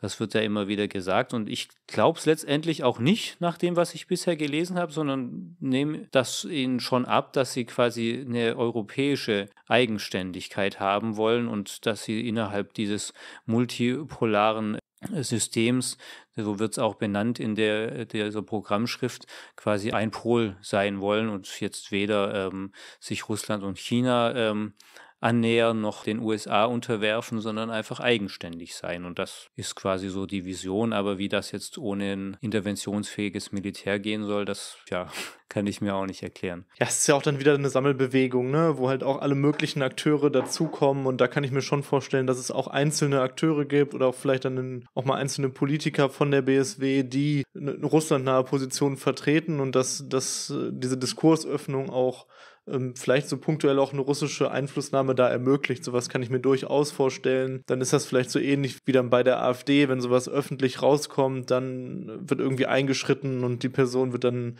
enthoben äh, von, von irgendeinem Amt oder so. Und ansonsten geht das einfach so durch, weil das halt schon okay ist und einfach so mitschwimmt innerhalb dieser Partei, denke ich mal. Ja, aber lass uns doch nochmal dann auf die Sozialpolitik eingehen. Du hast es ja gerade schon angesprochen im Kontext des Beispiels von äh, Syriza. Wie sieht's denn da aus? Was sind die die Gedankengänge zur Sozialpolitik vom BSW? Also erstmal muss man sich natürlich fragen, also warum soll jetzt das BSW ausgerechnet äh, das schaffen, woran jetzt diese ganzen anderen linksreformistischen Kräfte gescheitert sind und dass sie jetzt den Sozialstaat retten? Und ähm, Wagenknecht hat darauf durchaus eine Antwort. Also in ihrem Buch ähm, Die Selbstgerechten hatte ich ja schon beschrieben, wie sie quasi diesen soziologischen Wandel der Linksparteien beschreibt, ähm, von Arbeiterparteien zu Parteien des akademischen Mittelstands. Sie sagt, dass das letztendlich erklärt, warum die Parteien von ihrem ihrem ursprünglichen Programm zugunsten der unteren Klassen weggekommen sind und letztendlich das auch ihren Niedergang erklärt. Also dass das der Grund ist, warum die Linkspartei heute in Ostdeutschland so schwach ist und warum die SPD jetzt bei 10 Prozent irgendwie rumdümpelt und dass man eigentlich einfach nur sich der klassischen Zielgruppe wieder zuwenden müsste und ernsthaft eine Politik, wie wir es auch schon angesprochen haben, sowohl vom Inhalt als auch von der Sprache und vom Gestus her zu machen für die unteren Gesellschaftsschichten. Dann würde das auch klappen. Und ich denke, dass halt an dieser Beschreibung was Wahres dran ist. Also für viele ähm, linke und sozialdemokratische Parteien stimmt ja diese Beschreibung dieses soziologischen Wandels und ähm, auch des Wandels des Programms, was damit einhergeht, durchaus. Aber ich denke, die Erklärung reicht nicht aus, weil das jetzt Syriza zum Beispiel wurde von allen Bevölkerungsschichten gewählt oder so jemand wie Sanders oder ähm, Jeremy Corbyn, die hatten durchaus auch eine gute Wählerbasis innerhalb der Arbeiterinnenschaft. Auch zum Beispiel ähm, der brasilianische Präsident Lula, der wurde auch ähm, durchaus von den Unterschichten gewählt und so weiter. Aber Nichtsdestotrotz sind auch diese Leute gescheitert und deswegen hätte ich da letztendlich eine andere These, dass es halt das Scheitern auch ähm, sehr stark damit halt zusammenhängt, dass man sich eben auf diesen parlamentarischen Weg beschränkt hat, darauf verzichtet hat, eben eine Massenmobilisierung der Bevölkerung zu fördern, die dann halt durch Streiks oder durch Blockaden und so weiter eben tatsächlich dem Kapital wehtut und ähm, Reform dann erkämpfen kann. Es ist ja sogar so, dass Parteien wie Syriza oder Podemos viel beigetragen haben, gerade zu einer ja, Entmobilisierung der Massen. Also gerade dadurch, dass halt, also es war ja in Südeuropa während dieser ganzen Krisenproteste, da gab es ja massive Bewegungen auf den Straßen und Streiks und äh, so weiter. Und auch eine Stimmung, die quasi auch das kapitalistische System äh, zumindest in Ansätzen auch generell in Frage gestellt hat. Und dann kam eben diese Wahlversprechen, dass man eben wieder eine neue Partei wählen soll und dass die dann alles richtet. Und das hat auch dazu geführt, dass dann Basis Aktivistinnen und Aktivisten quasi wieder in diese Parteien und ihre Strukturen integriert wurden. Und ähm, als dann Syriza zum Beispiel genau die gleichen Verschlechterungen und Sparmaßnahmen durchgeführt hat, die es eben in der Regierung vorher auch schon gab, dann gab es aber nicht mehr den entsprechenden heftigen Protest auf den Straßen. Und dadurch haben die Parteien eben eigentlich sogar dafür gesorgt, quasi Protest zu neutralisieren. Deswegen glaube ich auch nicht, dass jetzt ausgerechnet das BSW da mehr erreichen können wird. Vor allem finde ich das auch sehr bezeichnend, wie du das jetzt dargelegt hast, weil das ist auch so ein bisschen was, was ich bei ihr rausgezogen habe. Sie redet sehr viel darüber, warum jetzt linke Parteien eben in bestimmten Milieus nicht mehr ankommen. Also eigentlich, ah, okay, das, ähm, warum wir jetzt keine gute Sozialpolitik durchsetzen können, liegt daran, dass es müsste man ja eigentlich daraus ziehen, dass die Leute auch einfach das Falsche jetzt wählen. Sie wählen nicht mehr sozialistische oder in manchen Ländern dann traditionell kommunistische Parteien, weil eben diese sich von ihrer Wählerbasis entfremdet haben. Wobei man dazu sagen muss, das hat ja auch einfach was mit einer realen ähm, Zersplitterung der Arbeiterklasse in Europa zu tun und ähm, mit ganz vielen Umwürfen in Gewerkschaftspolitik, Wohnungsbau und so. Aber das muss man ja wirklich daraus ziehen. Es geht darum, das Problem ist, dass die Leute nicht das Richtige gewählt haben, aber das ist ja noch keine Sozialpolitik. Das sind ja noch keine wirklich konkreten Forderungen, wo man sagen kann, da wird das jetzt wirklich dann anders gemacht. So, das sind vielleicht dann noch so ein vages Versprechen, aber das ist ja wirklich einfach erstmal nur eine Feststellung von, diese Leute wählen jetzt anders als zuvor. Aber da steckt ja jetzt auch wieder eigentlich nicht viel hinter. Also zum einen, also Wagenknecht thematisiert selbst auch diese Veränderungen der Bevölkerungsstruktur, also dass es diese klassischen Arbeitermilieus zum Beispiel so nicht mehr gibt und dass also durch Prekarisierung und durch Zerschlagung großer Fabriken und so weiter, dass sich da auch einiges geändert hat und dass das auch ein Stück weit erklärt, diese Veränderungen in der Parteienlandschaft. Da finde ich, zeigt sich auch noch so ihre alte marxistische ähm, Schulung, die sie genossen hat, dass sie also quasi ideologische Veränderungen auch versucht zurückzuführen auf Gesellschaft gesellschaftliche Umwälzungen. Und ich denke, dass sie das Problem tatsächlich nicht so sehr im Wahlverhalten sieht, sondern äh, auf der Angebotsseite quasi. Also dass sozusagen die politischen Parteien nicht mehr so sind, wie die Unterschichten es gerne hätten. Und also die SPD ist nicht mehr so, wie sie halt war und die Linkspartei ist auch nicht mehr so, wie sie es war. Und die Leute wählen deswegen jetzt zum Beispiel die AfD. Aber das ist jetzt nicht das Problem, dass die Leute angefangen haben, anders zu wählen, sondern das Problem ist eher, dass sich quasi die, die linken Parteien gewandelt haben und dass sie sich jetzt wieder, wenn man so will, zurückwandeln müssten, ist sozusagen ihre ähm, Analyse. Und sie unterfüttert das dann auch damit, dass sie sagt, also wenn jetzt linke Außenseiter wie dieser Corbyn oder Sanders zum Beispiel oder auch dieser Mélenchon in Frankreich, also tatsächlich wieder so ein klassisch links-sozialdemokratisches Programm anbieten, dass sie dann auch bei den Wählern ankommen und durchaus auch mehr Stimmen einfahren als diese neoliberalen SPD und anderen sozialdemokratischen Parteien. Ja, wie gesagt, nichtsdestotrotz denke ich, dass auch das nicht wirklich zu einem Erfolg führen wird, weil das einfach in diesem Korsett der Wahlpolitik und der, des Parlamentarismus verbleibt. Ja, mehr noch als Nur, dass es da drin verbleibt, es ist ja immer wieder das gleiche Mantra von einer Erneuerung dieses parlamentarischen Systems. Immer wieder vom gleichen. Also, das ist ja das Ding, was du mit Syriza beschrieben hast. Es hat ja zu einer Frischkur für dieses System geführt.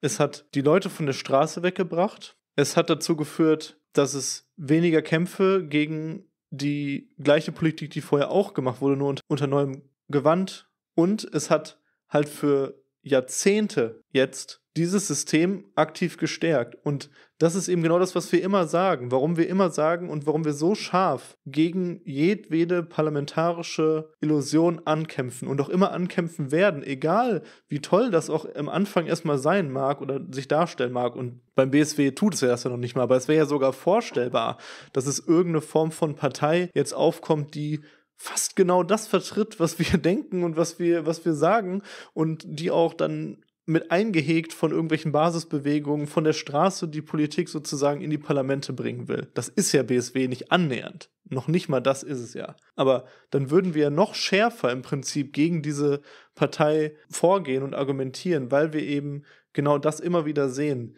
dass es eine Illusion ist, die nur dazu führt, dass die Klasse, die mit der herrschenden Politik unzufrieden ist, die mit dem System unzufrieden ist, in das System wieder eingehegt wird und wieder Hoffnung in den Parlamentarismus schürt. Und genau das ist das Gegenteil von dem, was wir erreichen. Wir müssen eben diesen Zwietracht, der in der Klasse mit dem System existiert, noch weiter verschärfen, noch weiter zuspitzen.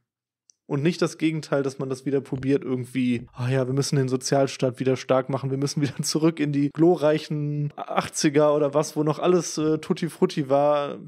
Ja, das führt uns zu nichts. Und was uns auch zu nichts führt, ist eine Abschottungs-Migrationspolitik, wie sie von BSW und Wagenknecht ja propagiert wird in Zeiten der sich zuspitzenden Krisen, wo einfach immer mehr Menschen nach Deutschland kommen und das einfach eine logische Folge dieses Systems ist. Und deswegen wollen wir nochmal genauer auf ja das Thema eingehen, was ja vor allen Dingen in der Linken auch primär diskutiert und kritisiert wird, was für uns, wie sich das jetzt schon dargestellt hat, nur ein Kritikpunkt von vielen noch ist. Ja, also Thema Migration ist tatsächlich ja ein ähm, wichtiges, was man jetzt nicht aussparen kann, wenn man über BSW redet. Und auch da ist es wieder so, würde ich sagen, dass ähm, da reale Probleme angesprochen werden ähm, von Sarah Wagenknecht, die tatsächlich irgendwie gesellschaftlich bearbeitet werden müssen. Also es stimmt, dass Migration ähm, zu einer Überlastung von Infrastruktur führen kann. Also vor allem dann, wenn die eh schon kaputt gespart und marode ist. Also sei es jetzt Schulen oder sei es Schwimmbäder. Ich weiß nicht, ob ihr euch, noch dran erinnert, im letzten Sommer war irgendwann so der große Sommerloch-Hype, dass es so viele Schlägereien in den Schwimmbädern geben sollte und das wurde dann auch auf die Migranten zurückgeführt und so weiter.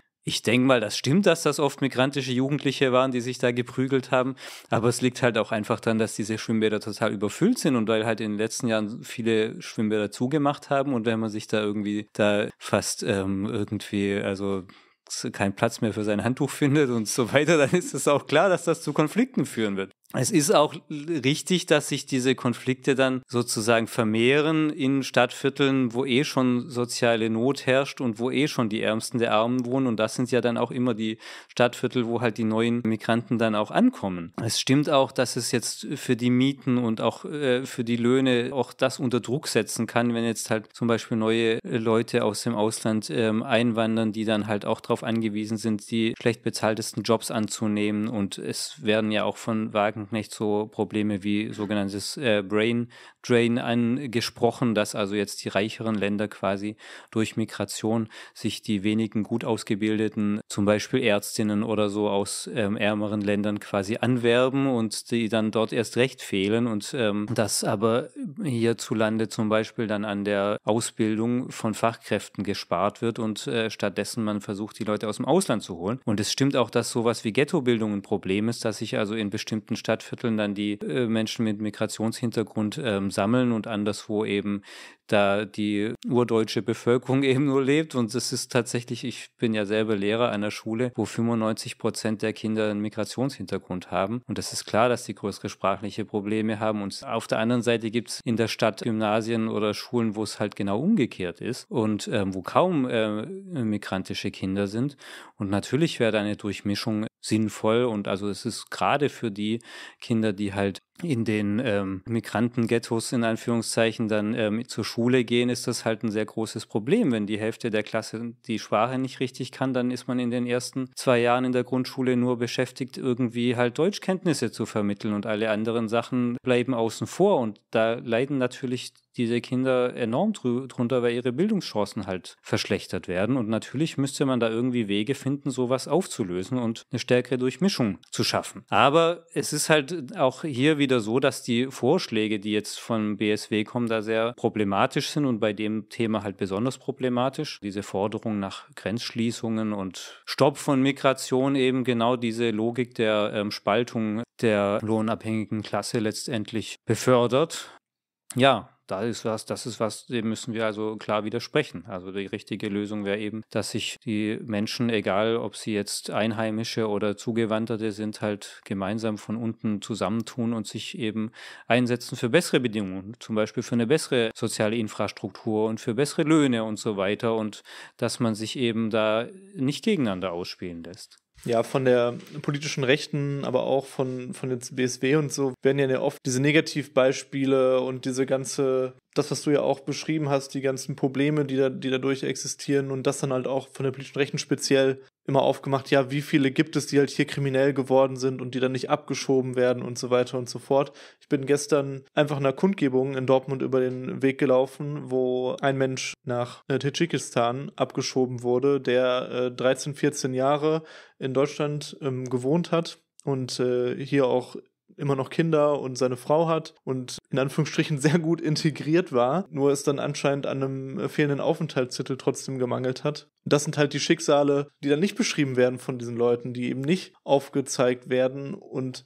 wo dann einfach eine, diese Absurdität von dieser extrem starke Druck und diese extrem starke Repression ähm, gegen nicht einheimische Menschen sich noch verschärfen würde mit solcher, solcher Politik und die vielen, vielen Schicksale, die darunter leiden, noch verschlimmern würde. Und das in einer Situation, wo wir ja so oft, häufig darüber geredet haben, dass der deutsche Staat einfach für seinen Standort diese Migranten braucht. Er braucht sie, um fortzudauern, weil wir einfach eine demografische Entwicklung haben, wo es an Arbeitskräften fehlt, die vor allen Dingen die beschissenen Jobs machen, worauf die Deutschen halt keinen Bock mehr haben. Es braucht halt Leute, die damit wir halt unseren lecker Spargel auf dem Tisch haben und unsere Lieferando-Fressen halt bekommen können, die halt diesen, diesen Dreck halt machen, den halt niemand machen will, wofür man scheiße bezahlt wird, wo man ausgebeutet wird ohne Ende. Und ähm, es braucht halt auch diese Fachkräfte, die halt dieses Bildungssystem, was marode ist, nicht mehr in der Lage ist, genügend halt zu generieren aus der bisher einheimischen Bevölkerung. Und deswegen ist auch diese gesamte Politik der Abschottung ist halt komplett irrsinnig, weil es einfach nur keine Alternative zu dem ähm, Zustand darstellt, den wir jetzt gerade haben, weil es halt zu einer massiven Verelendung führen würde, gerade wenn man dann noch über eine größere Rückführung von hier bis bereits seit Jahren lebenden Menschen denkt, wie es ja gerade in den irren Plänen der, der AfD, der Werteunion und äh, Nazi-Verbünde der Fall ist. Absolut richtig, da könnt ihr auch gerne nochmal in unsere Folge zu Volk und Demografie reinhören, da haben wir den ganzen Punkt auch nochmal ausgiebiger besprochen. Aber es ist ja auch gleichzeitig so, wie du Alfred gesagt hast, dass dann diese ganzen Problematiken vor allem eben in den armen Vierteln und Regionen besonders stark sichtbar werden, dass es gerade da dann ist, wo auch die Problematik Migration, Kriminalitätsanstieg, fehlende Arbeitserlaubnisse, schlechter sozialer Status etc. eben zu dem führen, was dann immer als soziale Brennpunkte bezeichnet wird. Und das ist es ja dann auch, was entweder die Regionen sind, wo dann die Leute als einen Ausweg dann rechtspopulistisch wählen oder was dann als Beispiel für andere Leute in anderen Regionen gilt, um dann rechtspopulistisch zu wählen. Und das ist ja dann auch das, wo eben dann BSW versucht, in einem auch sozialdemokratischen Kosmos, wenn man so will, weil so würde ich jetzt sagen, von all dem, was ich jetzt mit Wirtschafts- und Sozialpolitik gehört habe, kann man das schon ungefähr so einordnen, versucht dann auch ein gewisses Novum zu schaffen, um da dann auch wieder zu sagen, hier möchte ich reingehen, mit gleichzeitig natürlich Forderungen von Sozialpolitik aber das gleiche bedienen, was die AfD tut, nur ohne dieses ganze neoliberale Korsett, was das dann zusammenhält. Und das ist es ja auch eigentlich im Kern, ich würde sagen, Friedenspolitik. Auch ein ziemliches Alleinstellungsmerkmal jetzt hier im bundesdeutschen Kosmos, abgesehen von der AfD. Aber sonst ist es ja auch gerade die Migrationspolitik. Und das ist, glaube ich, das, was für viele Leute auch Sarah Wagenknecht so ein bisschen ausmacht. Neben diesem ganzen, ich bin gegen die Elite, ich bin gegen das Establishment, ist es auch, das ist die Linke Das ist die Linke, die Migration beschränken will. Dieses Problem, jetzt mal aus der Sicht von vielen Leuten gesprochen, was uns jeden Tag so vor Augen geführt wird. Und deswegen wird sie dann auch wieder für dieses Milieu interessant. Mhm. Also zum einen finde ich, zeigt sich da auch wieder diese Herangehensweise, ähm, dass der Staat quasi Probleme lösen soll und nicht die Menschen von unten weil da ist es ja klar, dass wenn man so eine Sichtweise hat, dass dann nur der Staat irgend, dass man dann letztendlich nur drauf kommen kann, die Grenzen ähm, dicht zu machen. Und es ist tatsächlich auch so, dass das, was ich jetzt gesagt habe, Menschen mit und ohne Immigrationshintergrund müssen sich zusammentun und gemeinsam für ihre Interessen kämpfen und so. Das ist ja auch leicht gesagt. Also in der Praxis ist es oft jetzt gar nicht so einfach, dass man solche Bündnisse schließt. Und es gibt äh, Sprachbarrieren, kulturelle Barrieren und es gibt ja auch reale Interessensunterschiede, dass jetzt jetzt jemand, der neu eingewandert ist und hier für einen Job vielleicht das ähm, Fünffache verdient, was er jetzt in seinem Herkunftsland bekommen hätte, jetzt vielleicht auch, ähm, obwohl er jetzt quasi ein Lohndrücker ist für andere Leute, die schon länger hier leben, dann erstmal das ganz okay findet. Und deswegen ist vielleicht gar nicht so leicht ist, dann da eine Einheit der Klasse herzustellen, das ist ja alles schon wahr. Aber wenn man das gar nicht erst versucht und diese Perspektive gar nicht hat, dann ja, zeigt das eben schon, dass man in so einer staatlichen Logik nur denkt und eben nicht in einer ähm, internationalistischen Klassenlogik. Ich glaube, das ist aber auch einfach wieder ein Zeichen dafür, dass es uns an vielen Punkten eben an Strategien um auch so kontroverse Punkte fehlt.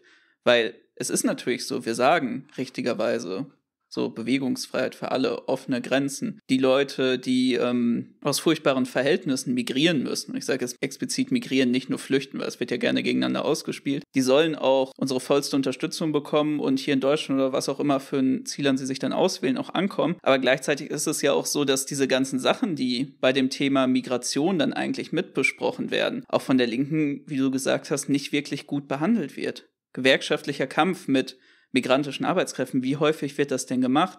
Wirklich eine Nachbarschaftsarbeit, die auch versucht, alle Leute im Viertel zu erreichen und nicht einfach nur wieder Klientelpolitik für das linksbürgerliche Milieu, was es vor Ort gibt, zu machen. Aber auch so Fragen wie Sicherheit. Das ist ja auch das, was ganz stark bei Migrationsdebatten mitschwingt für viele Leute. Das ist ja auch was, wo wir als radikale Linke nicht wirklich gute Antworten haben. Es gibt ganz zarte Pflänzchen, dass man vielleicht mal über sowas wie Transformative Justice spricht oder wir alle im Viertel sollen irgendwie die Augen aufhalten, aber nicht mehr die Polizei rufen. Aber es gibt ja nicht wirklich, wie man das vielleicht jetzt aus revolutionären schwarzen Bewegungen wie den USA kennt, dass man wirklich sagt, wir müssen irgendwie irgendwas tatsächlich organisieren in die Richtung von Nachbarschaftswachen. Wir wollen irgendwie wirklich die Sicherheit auch in unserem Viertel gewährleisten und nicht nur Kritik üben. Und auch solche Sachen wie im Endeffekt Kulturkampffragen, dass islamischer Fundamentalismus, ethnischer Nationalismus aus Diaspora-Gemeinden immer stärker zunimmt.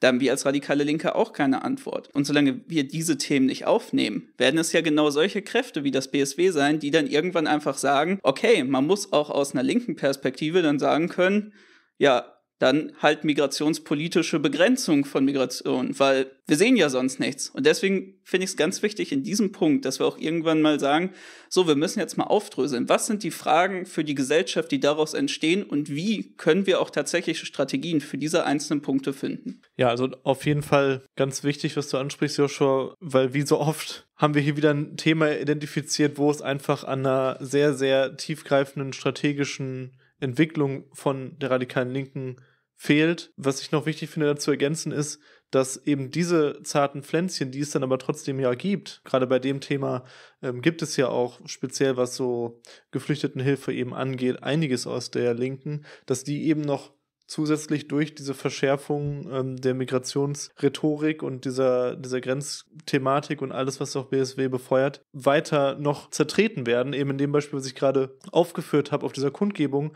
waren mehrheitlich Deutsche, die einfach Freunde von dieser Familie sind, ähm, die einfach seit Jahren befreundet waren äh, mit diesen Menschen und jetzt einfach halt übel traurig und wütend sind, dass der halt weg ist und halt irgendwo in Tadschikistan halt gefoltert wird als Oppositioneller.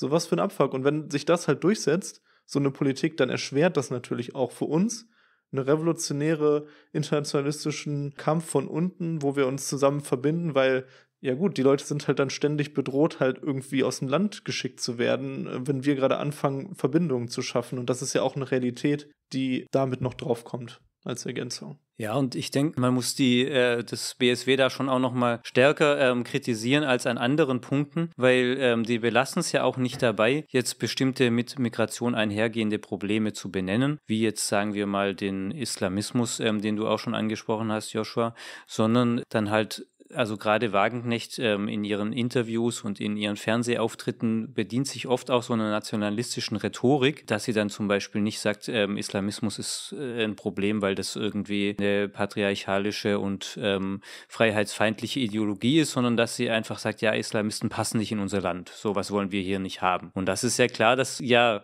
bestärkt genau solche ähm, Vorurteile, Ressentiments und so weiter, die es eh schon gibt und die quasi unsere Befreiungsperspektive da auch direkt zuwiderlaufen. Und deswegen muss man da wirklich sehr klar widersprechen und sagen, das ist jetzt nicht nur ein irgendwie reformistischer Weg, der halt ähm, unrealistisch ist, sondern es ist tatsächlich was, was unserem Projekt schadet und widerspricht. Kann man also sagen, um uns zum letzten Punkt von unserer Folge heute zu bringen, dass das Bündnis Sarah Wagenknecht einfach nur diese Wiederherstellung des Meinungspluralismus vor sich herträgt, um dann auch wieder sagen zu können, Ausländer raus. so wie es die relevante Teile der Linken ähm, als Kritik an BSW formulieren. Muss ich kurz überlegen, was ich darauf antworte. Also, das ist jetzt natürlich sehr zugespitzt ähm, formuliert. Und ich glaube, darauf kann man es nicht reduzieren. Also erstens sagen sie nicht Ausländer raus. Also es ist jetzt auch nicht so. Also ich würde, ich würde auch letztendlich nicht sagen, dass jetzt Wagenknecht oder die Leute um sie herum, dass sie Rassisten sind. Also ich glaube, sie bedienen sich eben einer nationalistischen Rhetorik aus populistischen Gründen, haben auch in ihrer ganzen auf den Staat fixierten Politikebene nationalistische Logik, aber sie sind jetzt nicht plumpe Rassisten wie die AfD oder sowas. Und dann denke ich, ist das dieses, diese Wiederherstellung des Meinungs Meinungspluralismus, das ist, umfasst ja mehrere Aspekte. Also klar, bei diesem Migrationsthema, da wäre es mir auch manchmal lieber, sie würde ein bisschen den Mund halten, Wagenknecht oder so, oder nicht so viel dazu sagen. Aber zum einen ist das ja jetzt auch nichts irgendwie, das, was sie da tabubrecherisch in eine Debatte hineinträgt, sondern es ist ja so, dass eigentlich in der kompletten politischen Landschaft zurzeit eben eine ähm, Verschärfung des Migrationskurses stattfindet und auch äh, unser Kanzler Scholz eben sagt, wir müssen jetzt endlich im großen Stil abschieben oder sowas. Also ich glaube gar nicht, dass dieser die Debatte so sehr nach rechts verschiebt oder was. Und zum anderen ist es bei anderen Themen, finde ich, schon auch noch mal ein bisschen anders. Also jetzt als ähm, Wagenknecht im Bundestag ihre Rede zum Ukraine-Krieg gehalten hat, da dachte ich ja, okay, ich bin schon froh, dass jemand äh, sowas auch vor einer großen Öffentlichkeit sagt und da äh, eine Kritik übt und einen bestimmten ansonsten Einheitsmeinung widerspricht und halt nicht von der AfD kommt. Und ich denke, dass jetzt an solch anderen Punkten und das schon auch tatsächlich ein bisschen dazu führt, dass eben diese Polarisierung aufgebrochen wird und sozusagen auch eher zu so einer multipolaren ähm, Ordnung des Diskurses vielleicht ähm, kommt. Wie viel uns das jetzt äh, nützt oder schadet, das ist jetzt eine schwierige Frage. Also bei der Migration, wie gesagt, ist es vielleicht nicht so sehr von Nutzen, aber bei anderen Themen vielleicht schon. Aber letztendlich denke ich, kommt es darauf auch gar nicht ähm, so sehr an. Ja, man sollte jetzt, glaube ich, dieses ganze Projekt Bündnis Sarah Wagenknecht auch gar nicht so hochhalten und vielleicht nicht überschätzen, weil ähm, ja, ob daraus überhaupt zu viel folgt, ist ja sowieso auch noch offen. Also ich habe jetzt auch gedacht, zum Beispiel, ähm, fand das ganz bezeichnend, sie haben sich ja jetzt offiziell als Partei gegründet am 8. Januar und das war der Tag, als eben der Auftakt dieser großen Bauernproteste war. Und eigentlich ähm, versteht sich ja ähm, das BSW als so eine populistische Partei, die quasi den Volkszorn irgendwie aufgreifen möchte und auch jetzt dieses Milieu aus ähm, kleinen ähm, Unternehmern und teilweise Lohnabhängigen ist eigentlich genau diese populäre Klasse, die sie als Zielgruppe auserkoren hat und eigentlich wäre es doch da nahegelegen äh, liegend gewesen zu sagen, okay, wir verschieben unsere Pressekonferenz oder wir gehen jetzt da zu dem Protest, mischten uns unter die, äh, die Menge oder machen unsere Pressekonferenz meinetwegen vor der Kulisse irgendwelcher protestierenden Bauern oder was,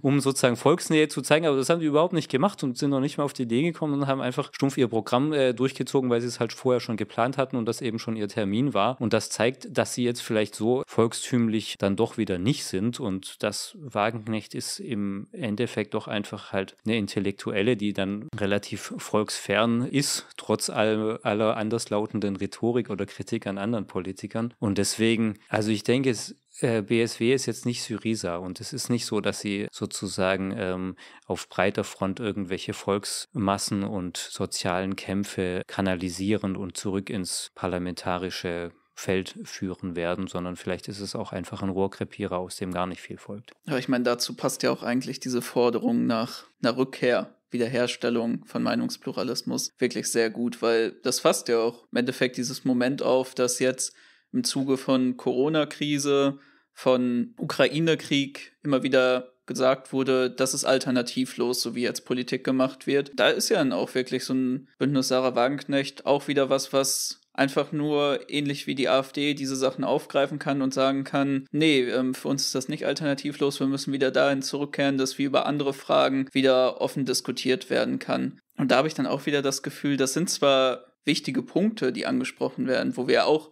viel Kritik dran geübt haben, wie da eigentlich die Debatte sich auch bei uns in der radikalen Linken sehr zugespitzt hat, dass im Endeffekt nur die Regierungsposition getragen wurde, dass das wirklich auch übernommen wurde, dass das alternativlos ist. Aber wie wenig eigentlich auch innovativ und wie wenig grenzüberschreitend das dann trotzdem in so vielen anderen Fragen ist, weil für mich wäre wirklich Meinungspluralismus oder da wirklich wieder mehr reingehen, auch in ganz andere ökonomische Formen nachdenken, wirklich sozialrevolutionäre Positionen vertreten, wirklich mal ganz knallharte und radikale Forderungen im Thema Umweltschutz, aber auch Internationalismus zu formulieren. Und da finde ich es dann auch so traurig, wieder dran zurückzudenken, was ich so ein bisschen im Intro beschrieben habe, dass ich dann auch 2010, können auch reden von 2009 oder 2008 gewesen sein, dann von ihr aus dem Bundestag, von auch einer Politikerin gehört habe, die recht radikale Forderungen formuliert hat. Und wenn ich es mir dann so durchgelesen habe, tatsächlich immer noch, auch wenn ich sicherlich heute aus einer anarchistischen Perspektive das ganz furchtbar fände, aber tatsächlich ja im Endeffekt eine sozialistische Wirtschaft formuliert hat, eine andere Wirtschaft, anders als dieses konkurrenzbasierte System. Und wo wir jetzt angekommen sind,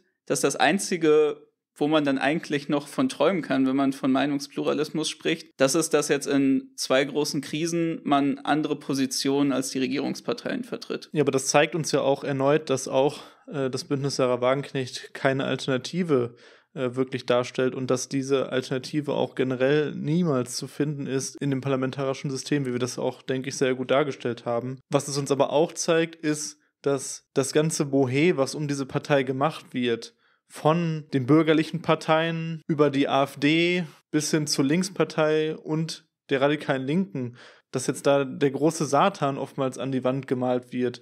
Wow, was äh, ist das halt für eine schlimme ähm, Geschichte, fast schon mit Nazi-Vergleichen da um sich äh, geschmissen wird wahlweise oder halt eben, dass sonst wie verteufelt wird, einfach nur, ja, Putin verstehren etc. pp. Dass es viel, viel, viel weniger aufregend ist, als es eigentlich darüber medial berichtet wird. Klar, es gibt eine Erweiterung des Parteienspektrums in einem ganz begrenzten Rahmen, so wie wir es dargestellt haben, in einem systemimmanenten Rahmen eigentlich. Das zeigt halt einfach, wie darauf reagiert wird, dass die Kritik ja richtig ist, dass es diese Begrenzung des Meinungshorizont gibt weil es einfach übel unspektakulär ist, was da passiert. Am ehesten kann ich es noch aus der Linkspartei-Perspektive verstehen, dass die angefressen sind, weil die leiden halt einfach richtig krass darunter, weil halt einfach ihre beliebteste Politikerin sich verpisst und halt eben linke Grundwerte dort in Frage gestellt werden, wie jetzt halt mit der Migrationspolitik und äh, die ja halt übel viele Abgeordnete verloren haben. Klar sind die angefressen, klar sind die am Rumschreien, aber warum jetzt halt die radikale Linke sich so sehr darauf einschießen sollte, wie es einige ja vorhaben, dass man jetzt irgendwie immer gegen diese BSW vorgehen solle, dass man jetzt jede Wahlkampfveranstaltung von irgendwie Sarah Wagenknecht behindern soll und da jetzt alle Kapazitäten drauflegen, das ist absolut lächerlich, Leute. Macht euch bitte nicht lächerlich, warum man jetzt stärker gegen BSW kämpfen sollte als gegen die CDU oder gegen die SPD oder gegen die AfD oder das macht einfach keinen Sinn. so. Oder die Grünen, ja klar, die habe ich vergessen, das stimmt. ne, da, da, ist einfach die falsche Prioritätensetzung. Klar, kann es punktuell Sinn machen, auch mal gegen BSW vorzugehen, aber aktuell ist das Ganze eine bedeutungslose Veranstaltung. Da haben wir wirklich Dringenderes zu tun. Gerade sich auch auf uns zu konzentrieren, dass man wirklich mal einen vernünftigen revolutionären Aufbau hinmacht und sich jetzt noch nicht das nächste Fettnäpfchen sucht, woran man sich halt irgendwie abarbeiten kann. Aber das ist scheinbar auch wieder einfach der Stand der radikalen Linken 2024, dass sobald irgendwas Neues auftaucht, was sich auch den Massen anschickt und für sich beansprucht, Stimme des Volkes zu sein, für die kleinen Leute zu sprechen, dass man sich da dann besonders drauf stürzt. Das haben wir ja bei den Bauernprotesten so gesehen. Das war bei der AfD natürlich ganz stark und hier haben wir es auch wieder, weil man da dann eigentlich auch die eigenen Versäumnisse besonders hart vor die Augen geführt bekommt. Weil es stimmt, wenn wir uns jetzt Wirtschaftspolitik, Migrationspolitik anschauen, dann ist das eigentlich nichts anderes als das, was beispielsweise die CDU fordern würde oder auch inzwischen sehr viele in der SPD, wenn wir uns die migrationspolitische Wende in Deutschland anschauen, mit den Asylrechtsverschärfungen, auch von den Grünen. Das ist nicht viel anders. Aber es ist halt einfach wieder die Angst davor, da sind Leute, die sich jetzt wirklich den Massen anschicken und das zeigt uns eigentlich, was für eine Scheiße wir jetzt die ganze Zeit gebaut haben. Ich glaube, deswegen schießt man sich auch Vielleicht, wieder mal so darauf ein. Vielleicht. Zum Ende wollte ich vielleicht noch einen Gedanken einbringen, und zwar, dass die BSW ja gerne davon sprechen, dass sie eine Repräsentationslücke ähm, füllen wollen und dass sie quasi einem bestimmten Teil der Bevölkerung, der sich nicht mehr repräsentiert sieht, im System sozusagen eine Stimme geben wollen.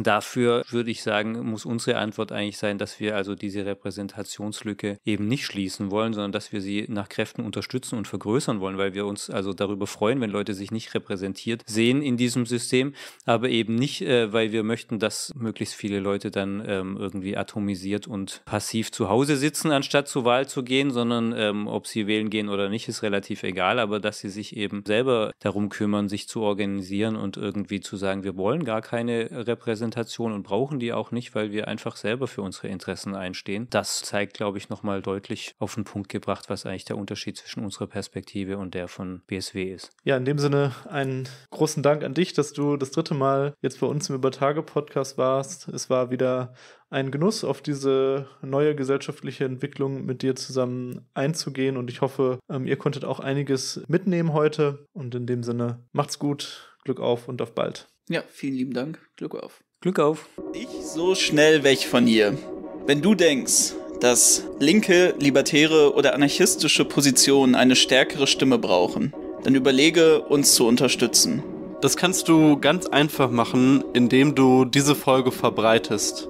Packe uns auf deinen Social Media Kanal, erzähl deinen Freundinnen von unserem Projekt, von unserem Podcast, von unseren Videos. Wenn du noch einen Schritt weiter gehen willst, dann unterstützt uns doch einmalig über PayPal oder werdet zum Übertage Ultra und komm in unsere Kofi und Patreon Community. Denn deine Hilfe ermöglicht dieses Projekt. Das nächste Mal bei Übertage hört ihr uns übernächsten Sonntag und wir sehen euch im Livestream am Mittwoch.